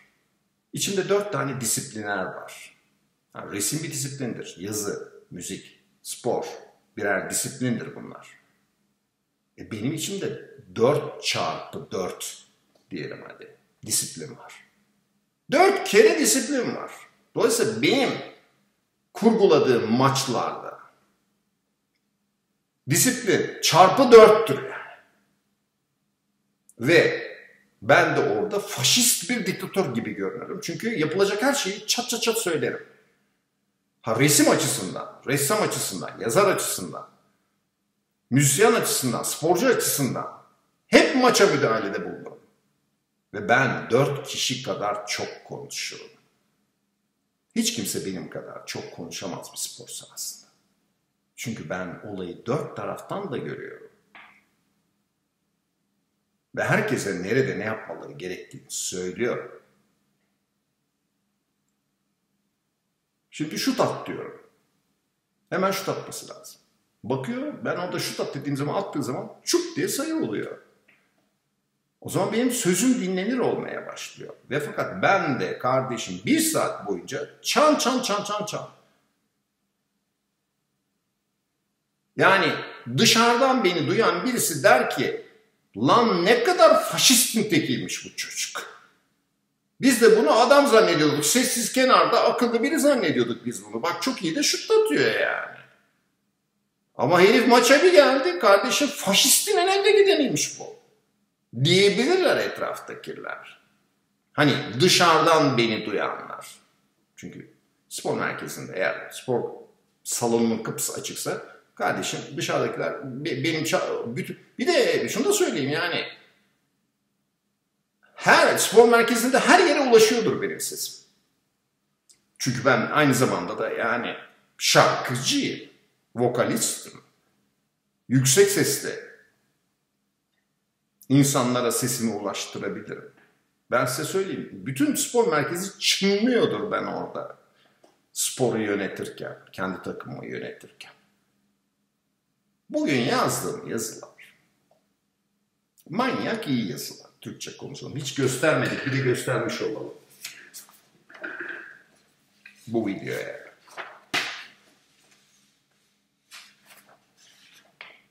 Evet, ilk yazı şu.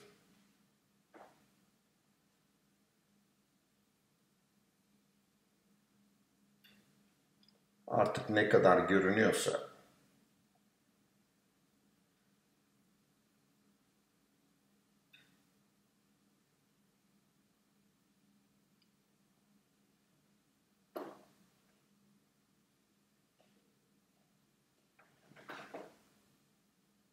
İlk yazı bu.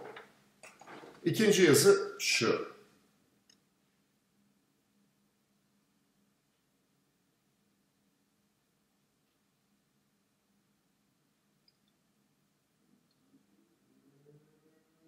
Evet, iki tane yazı. Şimdi bu yazılarda da diyorum ki disiplin disiplini özgürleştirir. Yani insanlar disiplinler disiplinden kaçıyorlar. Halbuki çoklu disiplin içselleşmiş disiplin bir özgürleşme alanı açıyor. Bu çok çok önemli. Bu yazılarda da bu çok üzerinde duruluyor. Yani şimdi bir tane disiplinim, bir, bir, tane, bir tane spor disiplinim var. İyi. Fakat o disiplinden de bıkmışsın. Niye? Seni sporcu yapmışlar. Sürekli aynı disiplin, sürekli aynı disiplin. Sürekli aynı kısıtlama. Disiplin kısıtlar. Evet yani hep sporcu disiplini. Hep aynı tür kısıtlanma. Ya bir de ressam disipline geçelim. Bir de yazar disipline geçelim. Bir de müzisyen disiplinine geçelim. Bu disiplinler birbirini açar. Ben de mesela spor sahasında konuşurken bir ressam gibi konuşuyorum. Bir müzisyen gibi müzik yap, müzikal konuşuyorum. Bir yazı gibi böyle absürt konuşuyorum falan. Yani bu disiplinleri içselleştirebilmek için bunları biraz sıkıştıracaksınız. Benim için de bu disiplinin dördü birden var. Dolayısıyla basketbol sahasında ben bu dört disiplini de içselleştirmek için biraz olayı şey yapıyorum, şiddetlendiriyorum. Ama o şiddet de yani sporun kendisinde zaten var. Yani hızlanmayacaksanız spor yapmıyorsunuz. Dolayısıyla o hızın içerdiği bir şiddet var. Mesela ben çocuklara bazen diyorum, kendin oyna diyorum. Kendin oyna diyorum, durmaya başlıyor. Kendin oyna hiç durma diyorum yani. Niye duruyorsun? Kendin oynayacaksın. Sürekli hızlan. Kendin oyna ve hızlan demek, demek yani bu. Kendin oyna dediğim zaman bütün sorumluluğu sana teslim ettik. Aralarda boşluklar bırak. Orada bütün düşünceyi de sen yap. Onları ben yapıyorum. Yani ben oyunu hızlandırıyorum. Disiplini, disiplinleri iç içe getiriyorum. Spor müsabakasında. Bu benim oluşturduğum bir dershane. Ve ben herkese eğitim veriyorum burada. Yazı bunları anlatıyor. Bir şekilde bir hani eğitimci olarak dört tarafta bollaşmış akılları bir akla, akıllarını başlarına getirmeye çalışıyorum. Çünkü akıllarını top, toplum bollaştırmış. Sporlarını bollaştırmış. Sonuç alamıyorlar. Sıkılaşamıyorlar. Şiddet üretip vurup deviremiyorlar. En önemlisi bu yazıda da anlatılıyor. Akılları bollaşmış. Şimdi ben kalkıp orada faşist olsam orada zekamla azman aklımla orada hükmediyor olmam gerekir. Ama bende mesela akıl bile dörde bölünmüş. Yani orada benim hani eğitim vereceğim çocuklar, çocukların akılları benden daha azman. Benimki de bir, bir akıl bile değil. Aklım başında da değil. Benim aklım dörde bölünmüş. Yani öyle bir öğretmen düşünün ki aklı dörde bölünmüş. İçinde de dört tane insan var.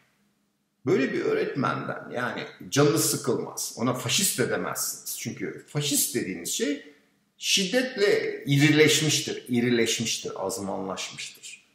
Yazıda böyle şeyler anlatılıyor. Şimdi yazıyı burada konuşmayayım ya. Yani yazı yazı da var. Ha ekstrasını konuşuyorum ben burada. Spor merkezinde ne oldu? Onu söyleyip bitireyim artık bunu. Saate bakalım 1.38. Spor merkezinde ben hep geri çekildim yani. Hep geri çekildim. Orada tek başıma spor merkezine gidiyorum. Herkes spor merkezine gidiyor. Orada yüzüyor. Aletli jimnastik yapıyor. Halter çalışıyor.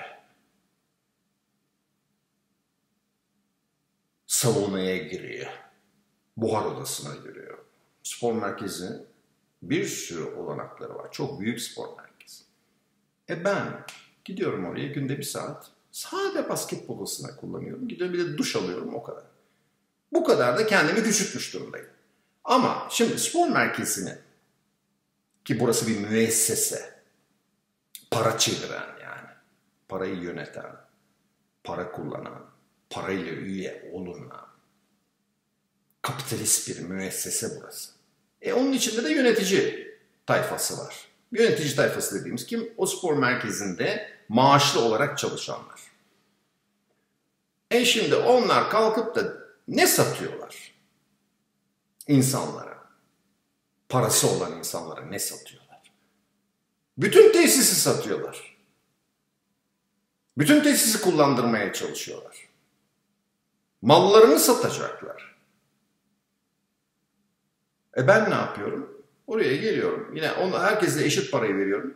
Ama her gün geliyorum ben. Diğerleri yani de ki haftada iki gün, üç gün geliyor. En fazla. Ya da haftada bir, 15 günde bir geliyor. Gelenler var. Ben her gün gidiyorum. Sadece spor merkezini kullanıyorum. Şimdi bu, bu bir kere şeyle çatışıyor. Yani o müessesenin memurlarının satmadık, satmak istedikleri müessesenin tümüyle çatışıyor. Bir kere ben müessesenin kısmi bir tarafını kullanıyorum.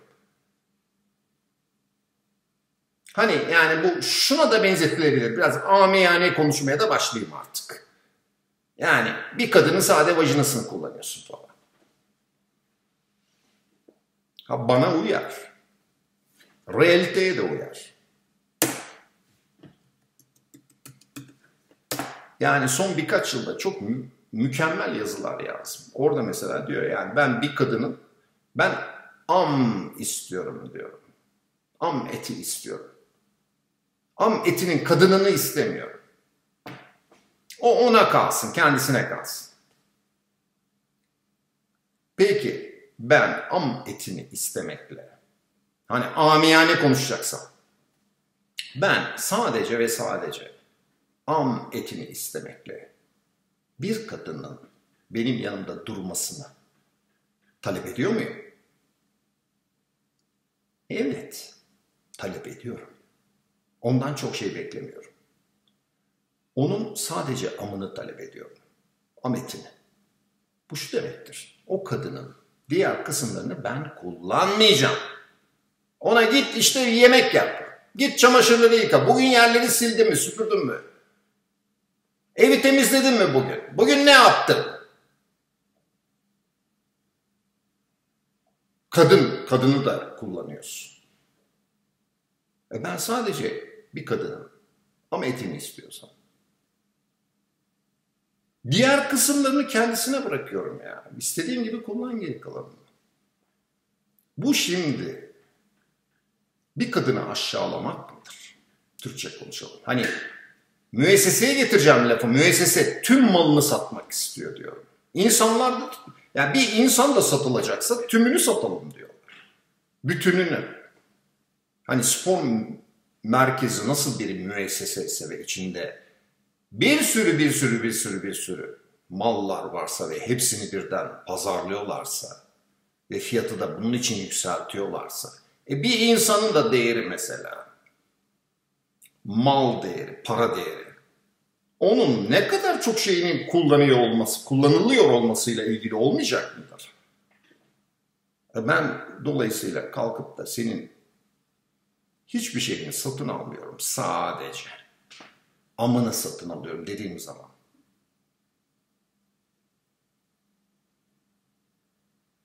Ben de spor merkezinde herkesle eşit parayı veriyorum. Ama ne yapıyorum? Ben spor salonunu kullanıyorum. Sadece. Bir de duş alıyorum işte. O kadar. Ama onu her gün kullanıyorum ben. Ben spor merkezini talep ediyor muyum? Ediyorum. Ama spor merkezinde benim talep ettiğim şey spor merkezinin tümü değil. Dolayısıyla bir insan da bana getirilecekse, bana verilecekse bir insan, o insanın tümünü talep etmiyor. De ki bacak arasındaki sokağını, Fransız sokağını talep ediyorum. Arada sırada o sokakta bir şöyle bir yürüyüşe çıkacağım yani sporcu olarak. Uçurumdan aşağı falan düşmek şeklinde de bir isteğim falan da hiç yok yani. Sadece sokakta biraz yürüyeyim yani. O kadar. Ya da sandalyede biraz oturayım yani. Gibi gibi gibi yani. Ve fakat şimdi benim kalkıp da Fransız sokağı değil de am eti istiyor olmam. Am eti insanın bütününün, müessesenin bütününün bir parçasıdır.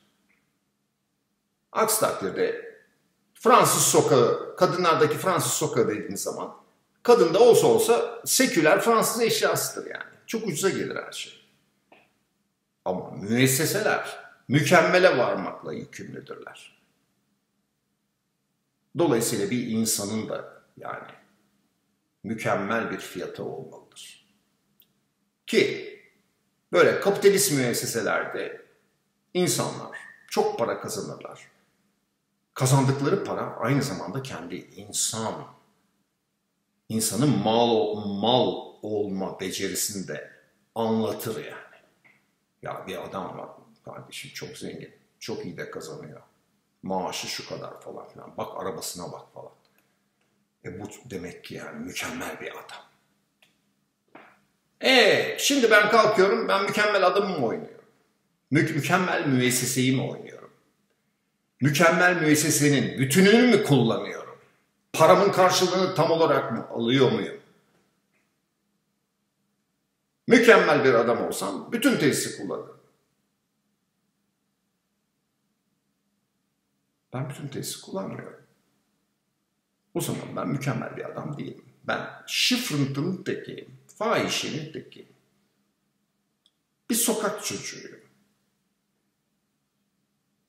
Ya spor merkezine kimleri kaydediyorlar? Parayla.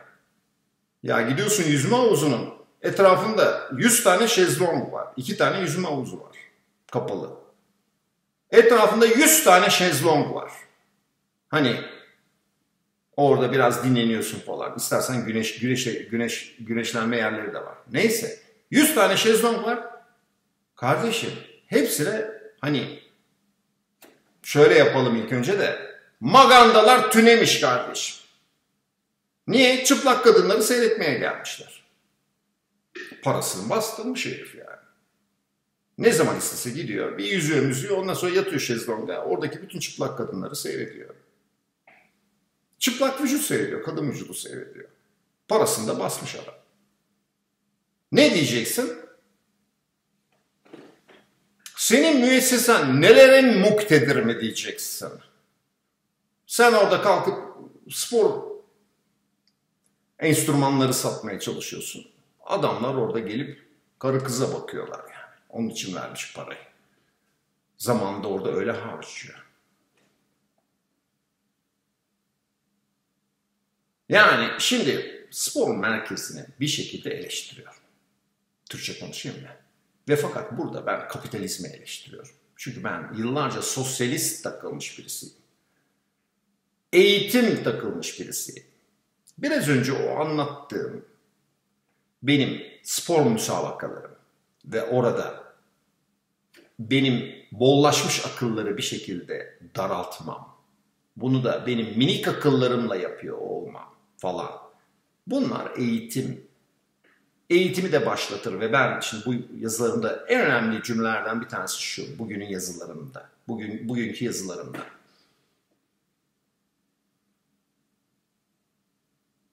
Sporcu. İlk önce sporcu. İlk önce sporcu olmayanlar. Yani bir memleket ve bir ülke ve bir devlet insanlığı ilk önce sporcu mu yapıyor? Ben buna bakarım diyorum. İlk önce sporcu yapmadıysa o memlekette eğitim oluşamaz diyorum. Bu benim yazımın iddiası. Bu okunur o yazılar orada bu iddianın gerekçeleri anlatılıyor. Ben burada kalıp olarak söylemiş olayım. İlk önce spor yoksa, ilk önce sporcu yapmadıysa bir devlet insanına, o insan eğitilemez diyorum ben. Yani o disiplinler içselleştirilip disiplinlerle özgürleşebilme oluşmaz. Eğitim bunu getiriyor. Disiplinleri, çoklu disiplini İnsanlar disiplinden kaçıyor. Niye disiplinden kaçıyor? Çünkü bir içinde bir tane insan yok ki. Hani köleleştirme denilen şey ki kapitalizmin köleleştirmesinden bahsediyorum. Köleleştirme denilen şey insanın içine başka insanların bindirilmesidir. Ondan sonra içimde bir sürü insan var, boğuluyor. Ha benim içimde dört tane var ama bu dört tane birbiriyle eşit, özdeş.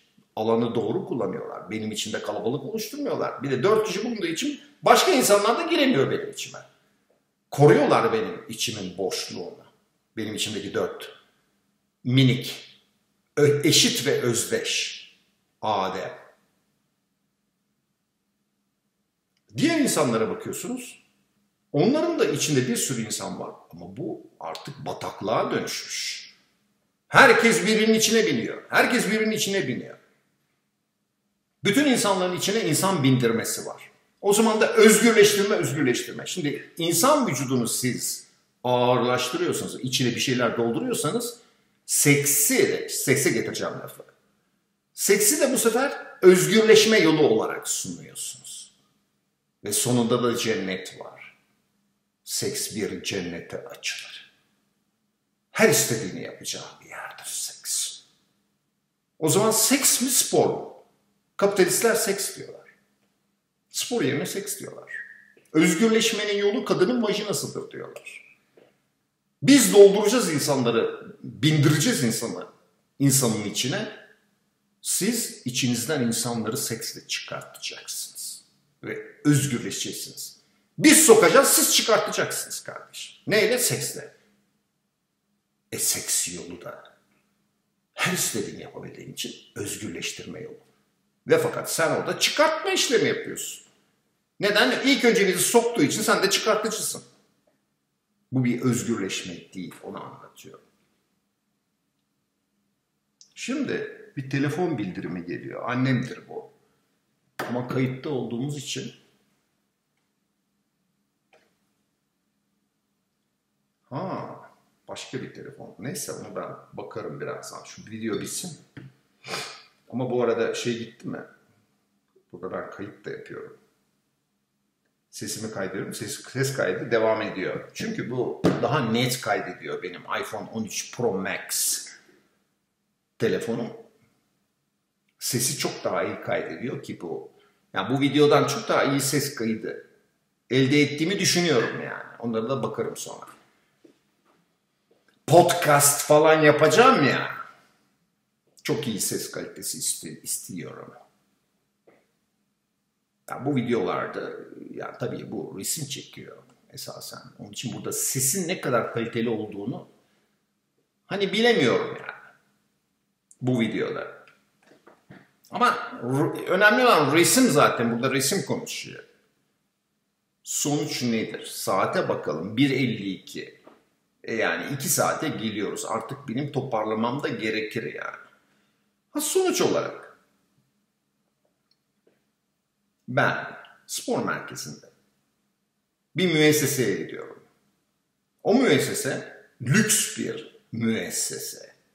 Aynı anda birçok lüks mal sunuyor.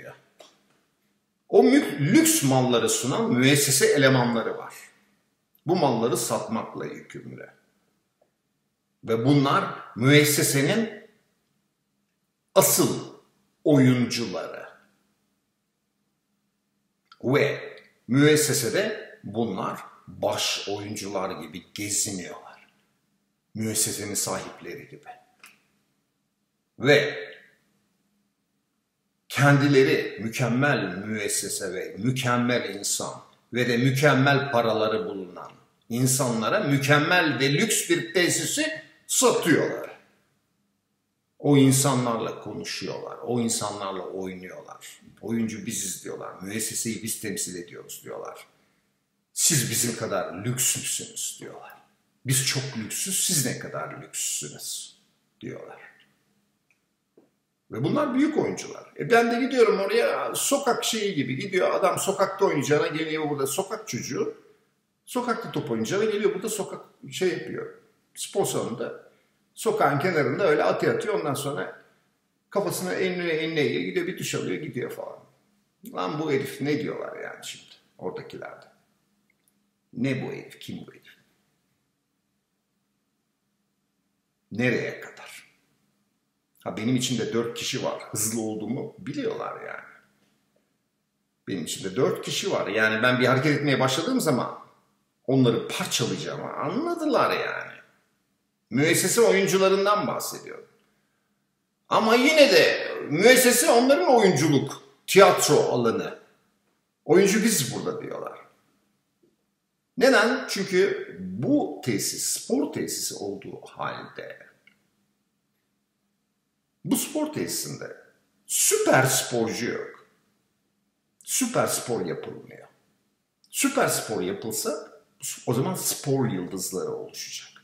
Spor yıldızları tiyatro oyuncularına bakar mı ya? Müessesenin bir tiyatro oyuncuları varmış. Onlar işte mükemmel insanı oynuyorlarmış. Mükemmel insanlarla daha da mükemmelleşiyorlarmış falan yani. Böyle bir tiyatro oyunu oynuyorlarmış ve müessesenin içinde de böyle bir tiyatro hissediliyor. Para tiyatrosu ve mükemmel insan tiyatrosu falan. Ya yani bir yere kadar. Bir yere kadar. Hani sinirimi bir yere kadar, sabrımı bir yere kadar tutabildim. Sonunda dün gittim. Bir spor, bir süper spor kurguladım orada. Weather. Bir maç kurguladım. Bir saat boyunca çan çan çan çan çan çan çınlattım spor merkezine. Herkes de gelip bakmıştır. Ne oluyor burada ya diye. Ne olduğunu söyleyeyim. Süper spor oluyor. Ben süper spor eğitmeni. Ve sizin tesisinizin tiyatro formatını silerim ben, bitiririm. Ben orada bütün insanlara süper spor yaptırtırsam, süper sporun ne olduğunu öğretirsem ve herkes süper spor yapmaya başlarsa, müessese adamları lan siz oturup duruyorsunuz yani. Oturduğunuz yerde büyük adamsınız. Büyük tiyatrocular, büyük oyuncularsınız. Ya süperstarları ne diyeceksiniz peki? Süperstarlar. Tiyatro oyuncularının yüzüne bakmaz yani. Yüzüne bakmaz. Oyuncu falan ne oyuncusu ya? Sporda, sporda o kadar hızlanırsınız ki, o kadar süper hızlanırsınız ve süper sporcu ve süper star olursunuz ki. Orada tiyatro falan kalmaz yani. Çünkü burası zaten spor yapılan bir merkez. Ha, spor süper olamadığı için orada tiyatro güçleniyor. Hem de kapitalist tiyatro. Mükemmel adamların mükemmel parası var. Ve mükemmel akıllı olabilirler. Ve fakat yani ben bu tiyatroyu yıllardır seyrediyorum. Kapitalistlerin ve parası ve tam ve tüm insan tiyatrosunu. Ve bunun oyuncularını falan. Her tarafta seyrediyoruz yani. Ama benim hayatım süper sporcu olmak üzerinedir. Şimdi bu spor merkezine geliyorsunuz. Ben başta bir senedir gidiyorum buraya yeniden. Kapıda iyi sporlar diyorlar. Resepsiyonda iyi sporlar. Süper sporlar demiyorlar mesela. Süper sporlar deseler o müessesenin tiyatro ekranı, tiyatro sahnesi olma özelliği orada tiyatro oyunu oynanmasını bitirecektir Süperspor. Ha bu anlaşıldı herhalde. Bunu tekrar etmeyeyim. Kaldı mı başka söylenecek bir laf? Şurada 1.58 oldu. 2'ye 2 dakika var. 2 saatin bitmesine. Sonuçta ha en son söyleyeceğim bir şey kaldı. Onu da söyleyeyim. Ve fakat benim yani burada bir orta yol bulmam gerekiyor. Ben çocukluğumdan itibaren dün de bunu anlattım. Topla evlenmiş, bir eşya ile evlenmiş. Buna razı edilmiş bir ben. Benim hakikaten 70 yaşıma kadar evli olduğum şey toptur. Eşyadır. Ve benim yanıma yaklaşan her kadın da bir şekilde eşya olmakla yükümlüdür. Zeki ve eşya olmak sporcu olmak. Ama şimdi benim diğer tarafa da bir şeyim var. Çocukluğumdan beri bir yerleşik olarak. Çünkü ben de babam bana bir sokağa sürmüştür beni sporcu yapmıştır. Bir de radyo evine operalara yerleştirmiştir. Orada da beni kapitalist yapmıştır. Sokakta sosyalist olmuşumdur. Opera ve radyoda kapitalist öz edinmişimdir ki opera ve radyo daha sonradan benim odamı ve atölyemi mutlak mekanlarımı bana vermiştir ki kapitalizm mutlak mekana temellenir. Şimdi sonuç olarak yani olay şuraya gelir. Benim eşya topum vardı. Ha ben eğer kapitalist topluma geçeceksem orada da benim insandan yapılma bir toplum olması lazım. O topun da bir sivubu olacak. Yani vajinası olacak ve benim aklımla oynayabileceğim bir top olacak. Dün dün bunu anlattım. Videoda, dünkü videoda bunu anlattım. Dolayısıyla yani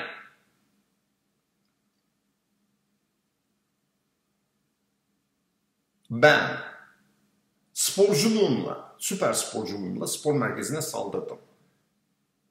Aksi takdirde aklı başında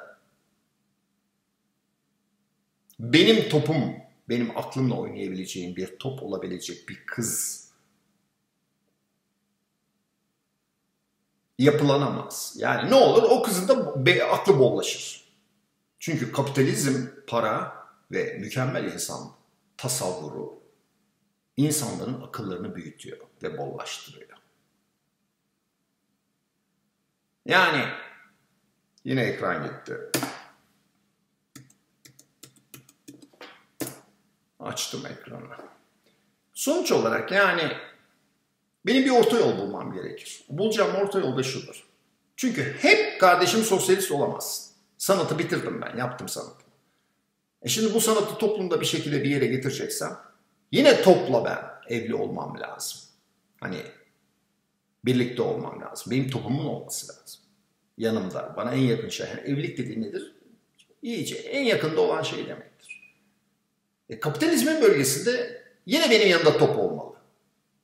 Ama insandan bir top olmalı, bir kız olmalı ya da bir kadın olmalı. Ama benim aklımla oynayacağım bir top olmayı ve Sibob'uyla da basınç ayarını çünkü ben toplarda basınç ayarını çok iyi ayarlarım ki plastik olsun topla ben oynayayım. Yoksa söz gelimi basıncı yüksek bir top. Sert bir toptur. O, o bana çarpar, o benimle oynar. Parmaklarımı kırar falan. Benim oynayabilmem için basıncını benim ayarlamam. Yani vajina bir basınç ayar sibobudur. Bunu kabul ediyorum bir kadın. Artı benim aklımla oynayacağım, aklımla oynayacağım bir insan topu olduğunu kabul ediyor mu? O kadar küçülebiliyor mu? Azalabiliyor mu? Çünkü bende dört tane minik akıl var. E bir kızdan da benim bekleyeceğim nedir? aklı başında ve fakat aklı da benim dörtte bir akıllarıma kadar küçülebilecek, azalabilecek bir aklı var mı? Ya ben dolayısıyla bu, bu, bu, bu videoda bu tanım çıktı.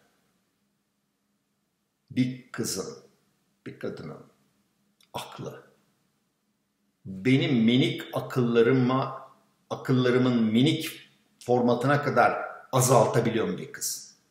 Ya benim için akıllı kız ne demek? Onu konuştum burada. Benim için akıllı kız. 203 bir dakika sonra bitecek bu video. Benim için akıllı kız.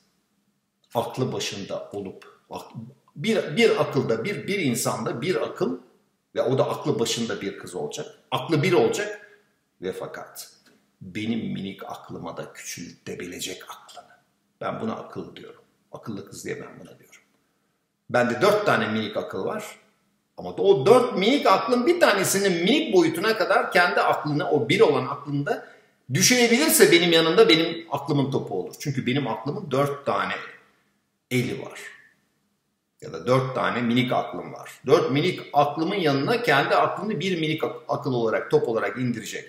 Ve ben dört topumla, dört akıl topumla onun bir akıl topuyla oynayabileceğim. Ya da bir olan aklıyla ben bütünleşeceğim. Yazılar bunları anlatıyor. Çünkü ben dörtte bir akıllardan, kırıklı bir akılım ben. Kuantal bir akılım. Nasıl kompütürlerde kuantum kompütürlerine geçiliyor. Benim aklım kuantal, parçacıklı. Ama aklım başımda değil. İşte bir kızın aklı eğer minik de olabilirse, benim minik akıllarımın boyutuna azalabilirse Oradan benim akıl aklımı da başıma yerleştirebilir, bütünleştirebilir, birleştirebilir. Bunlar yazı, yazılarımda çok güzel anlatılıyor. Burada da adını koymuş olduğumu düşünüyorum. Yani bunları adlandırdım, söyledim burada da. Bu videoyu burada keseceğim.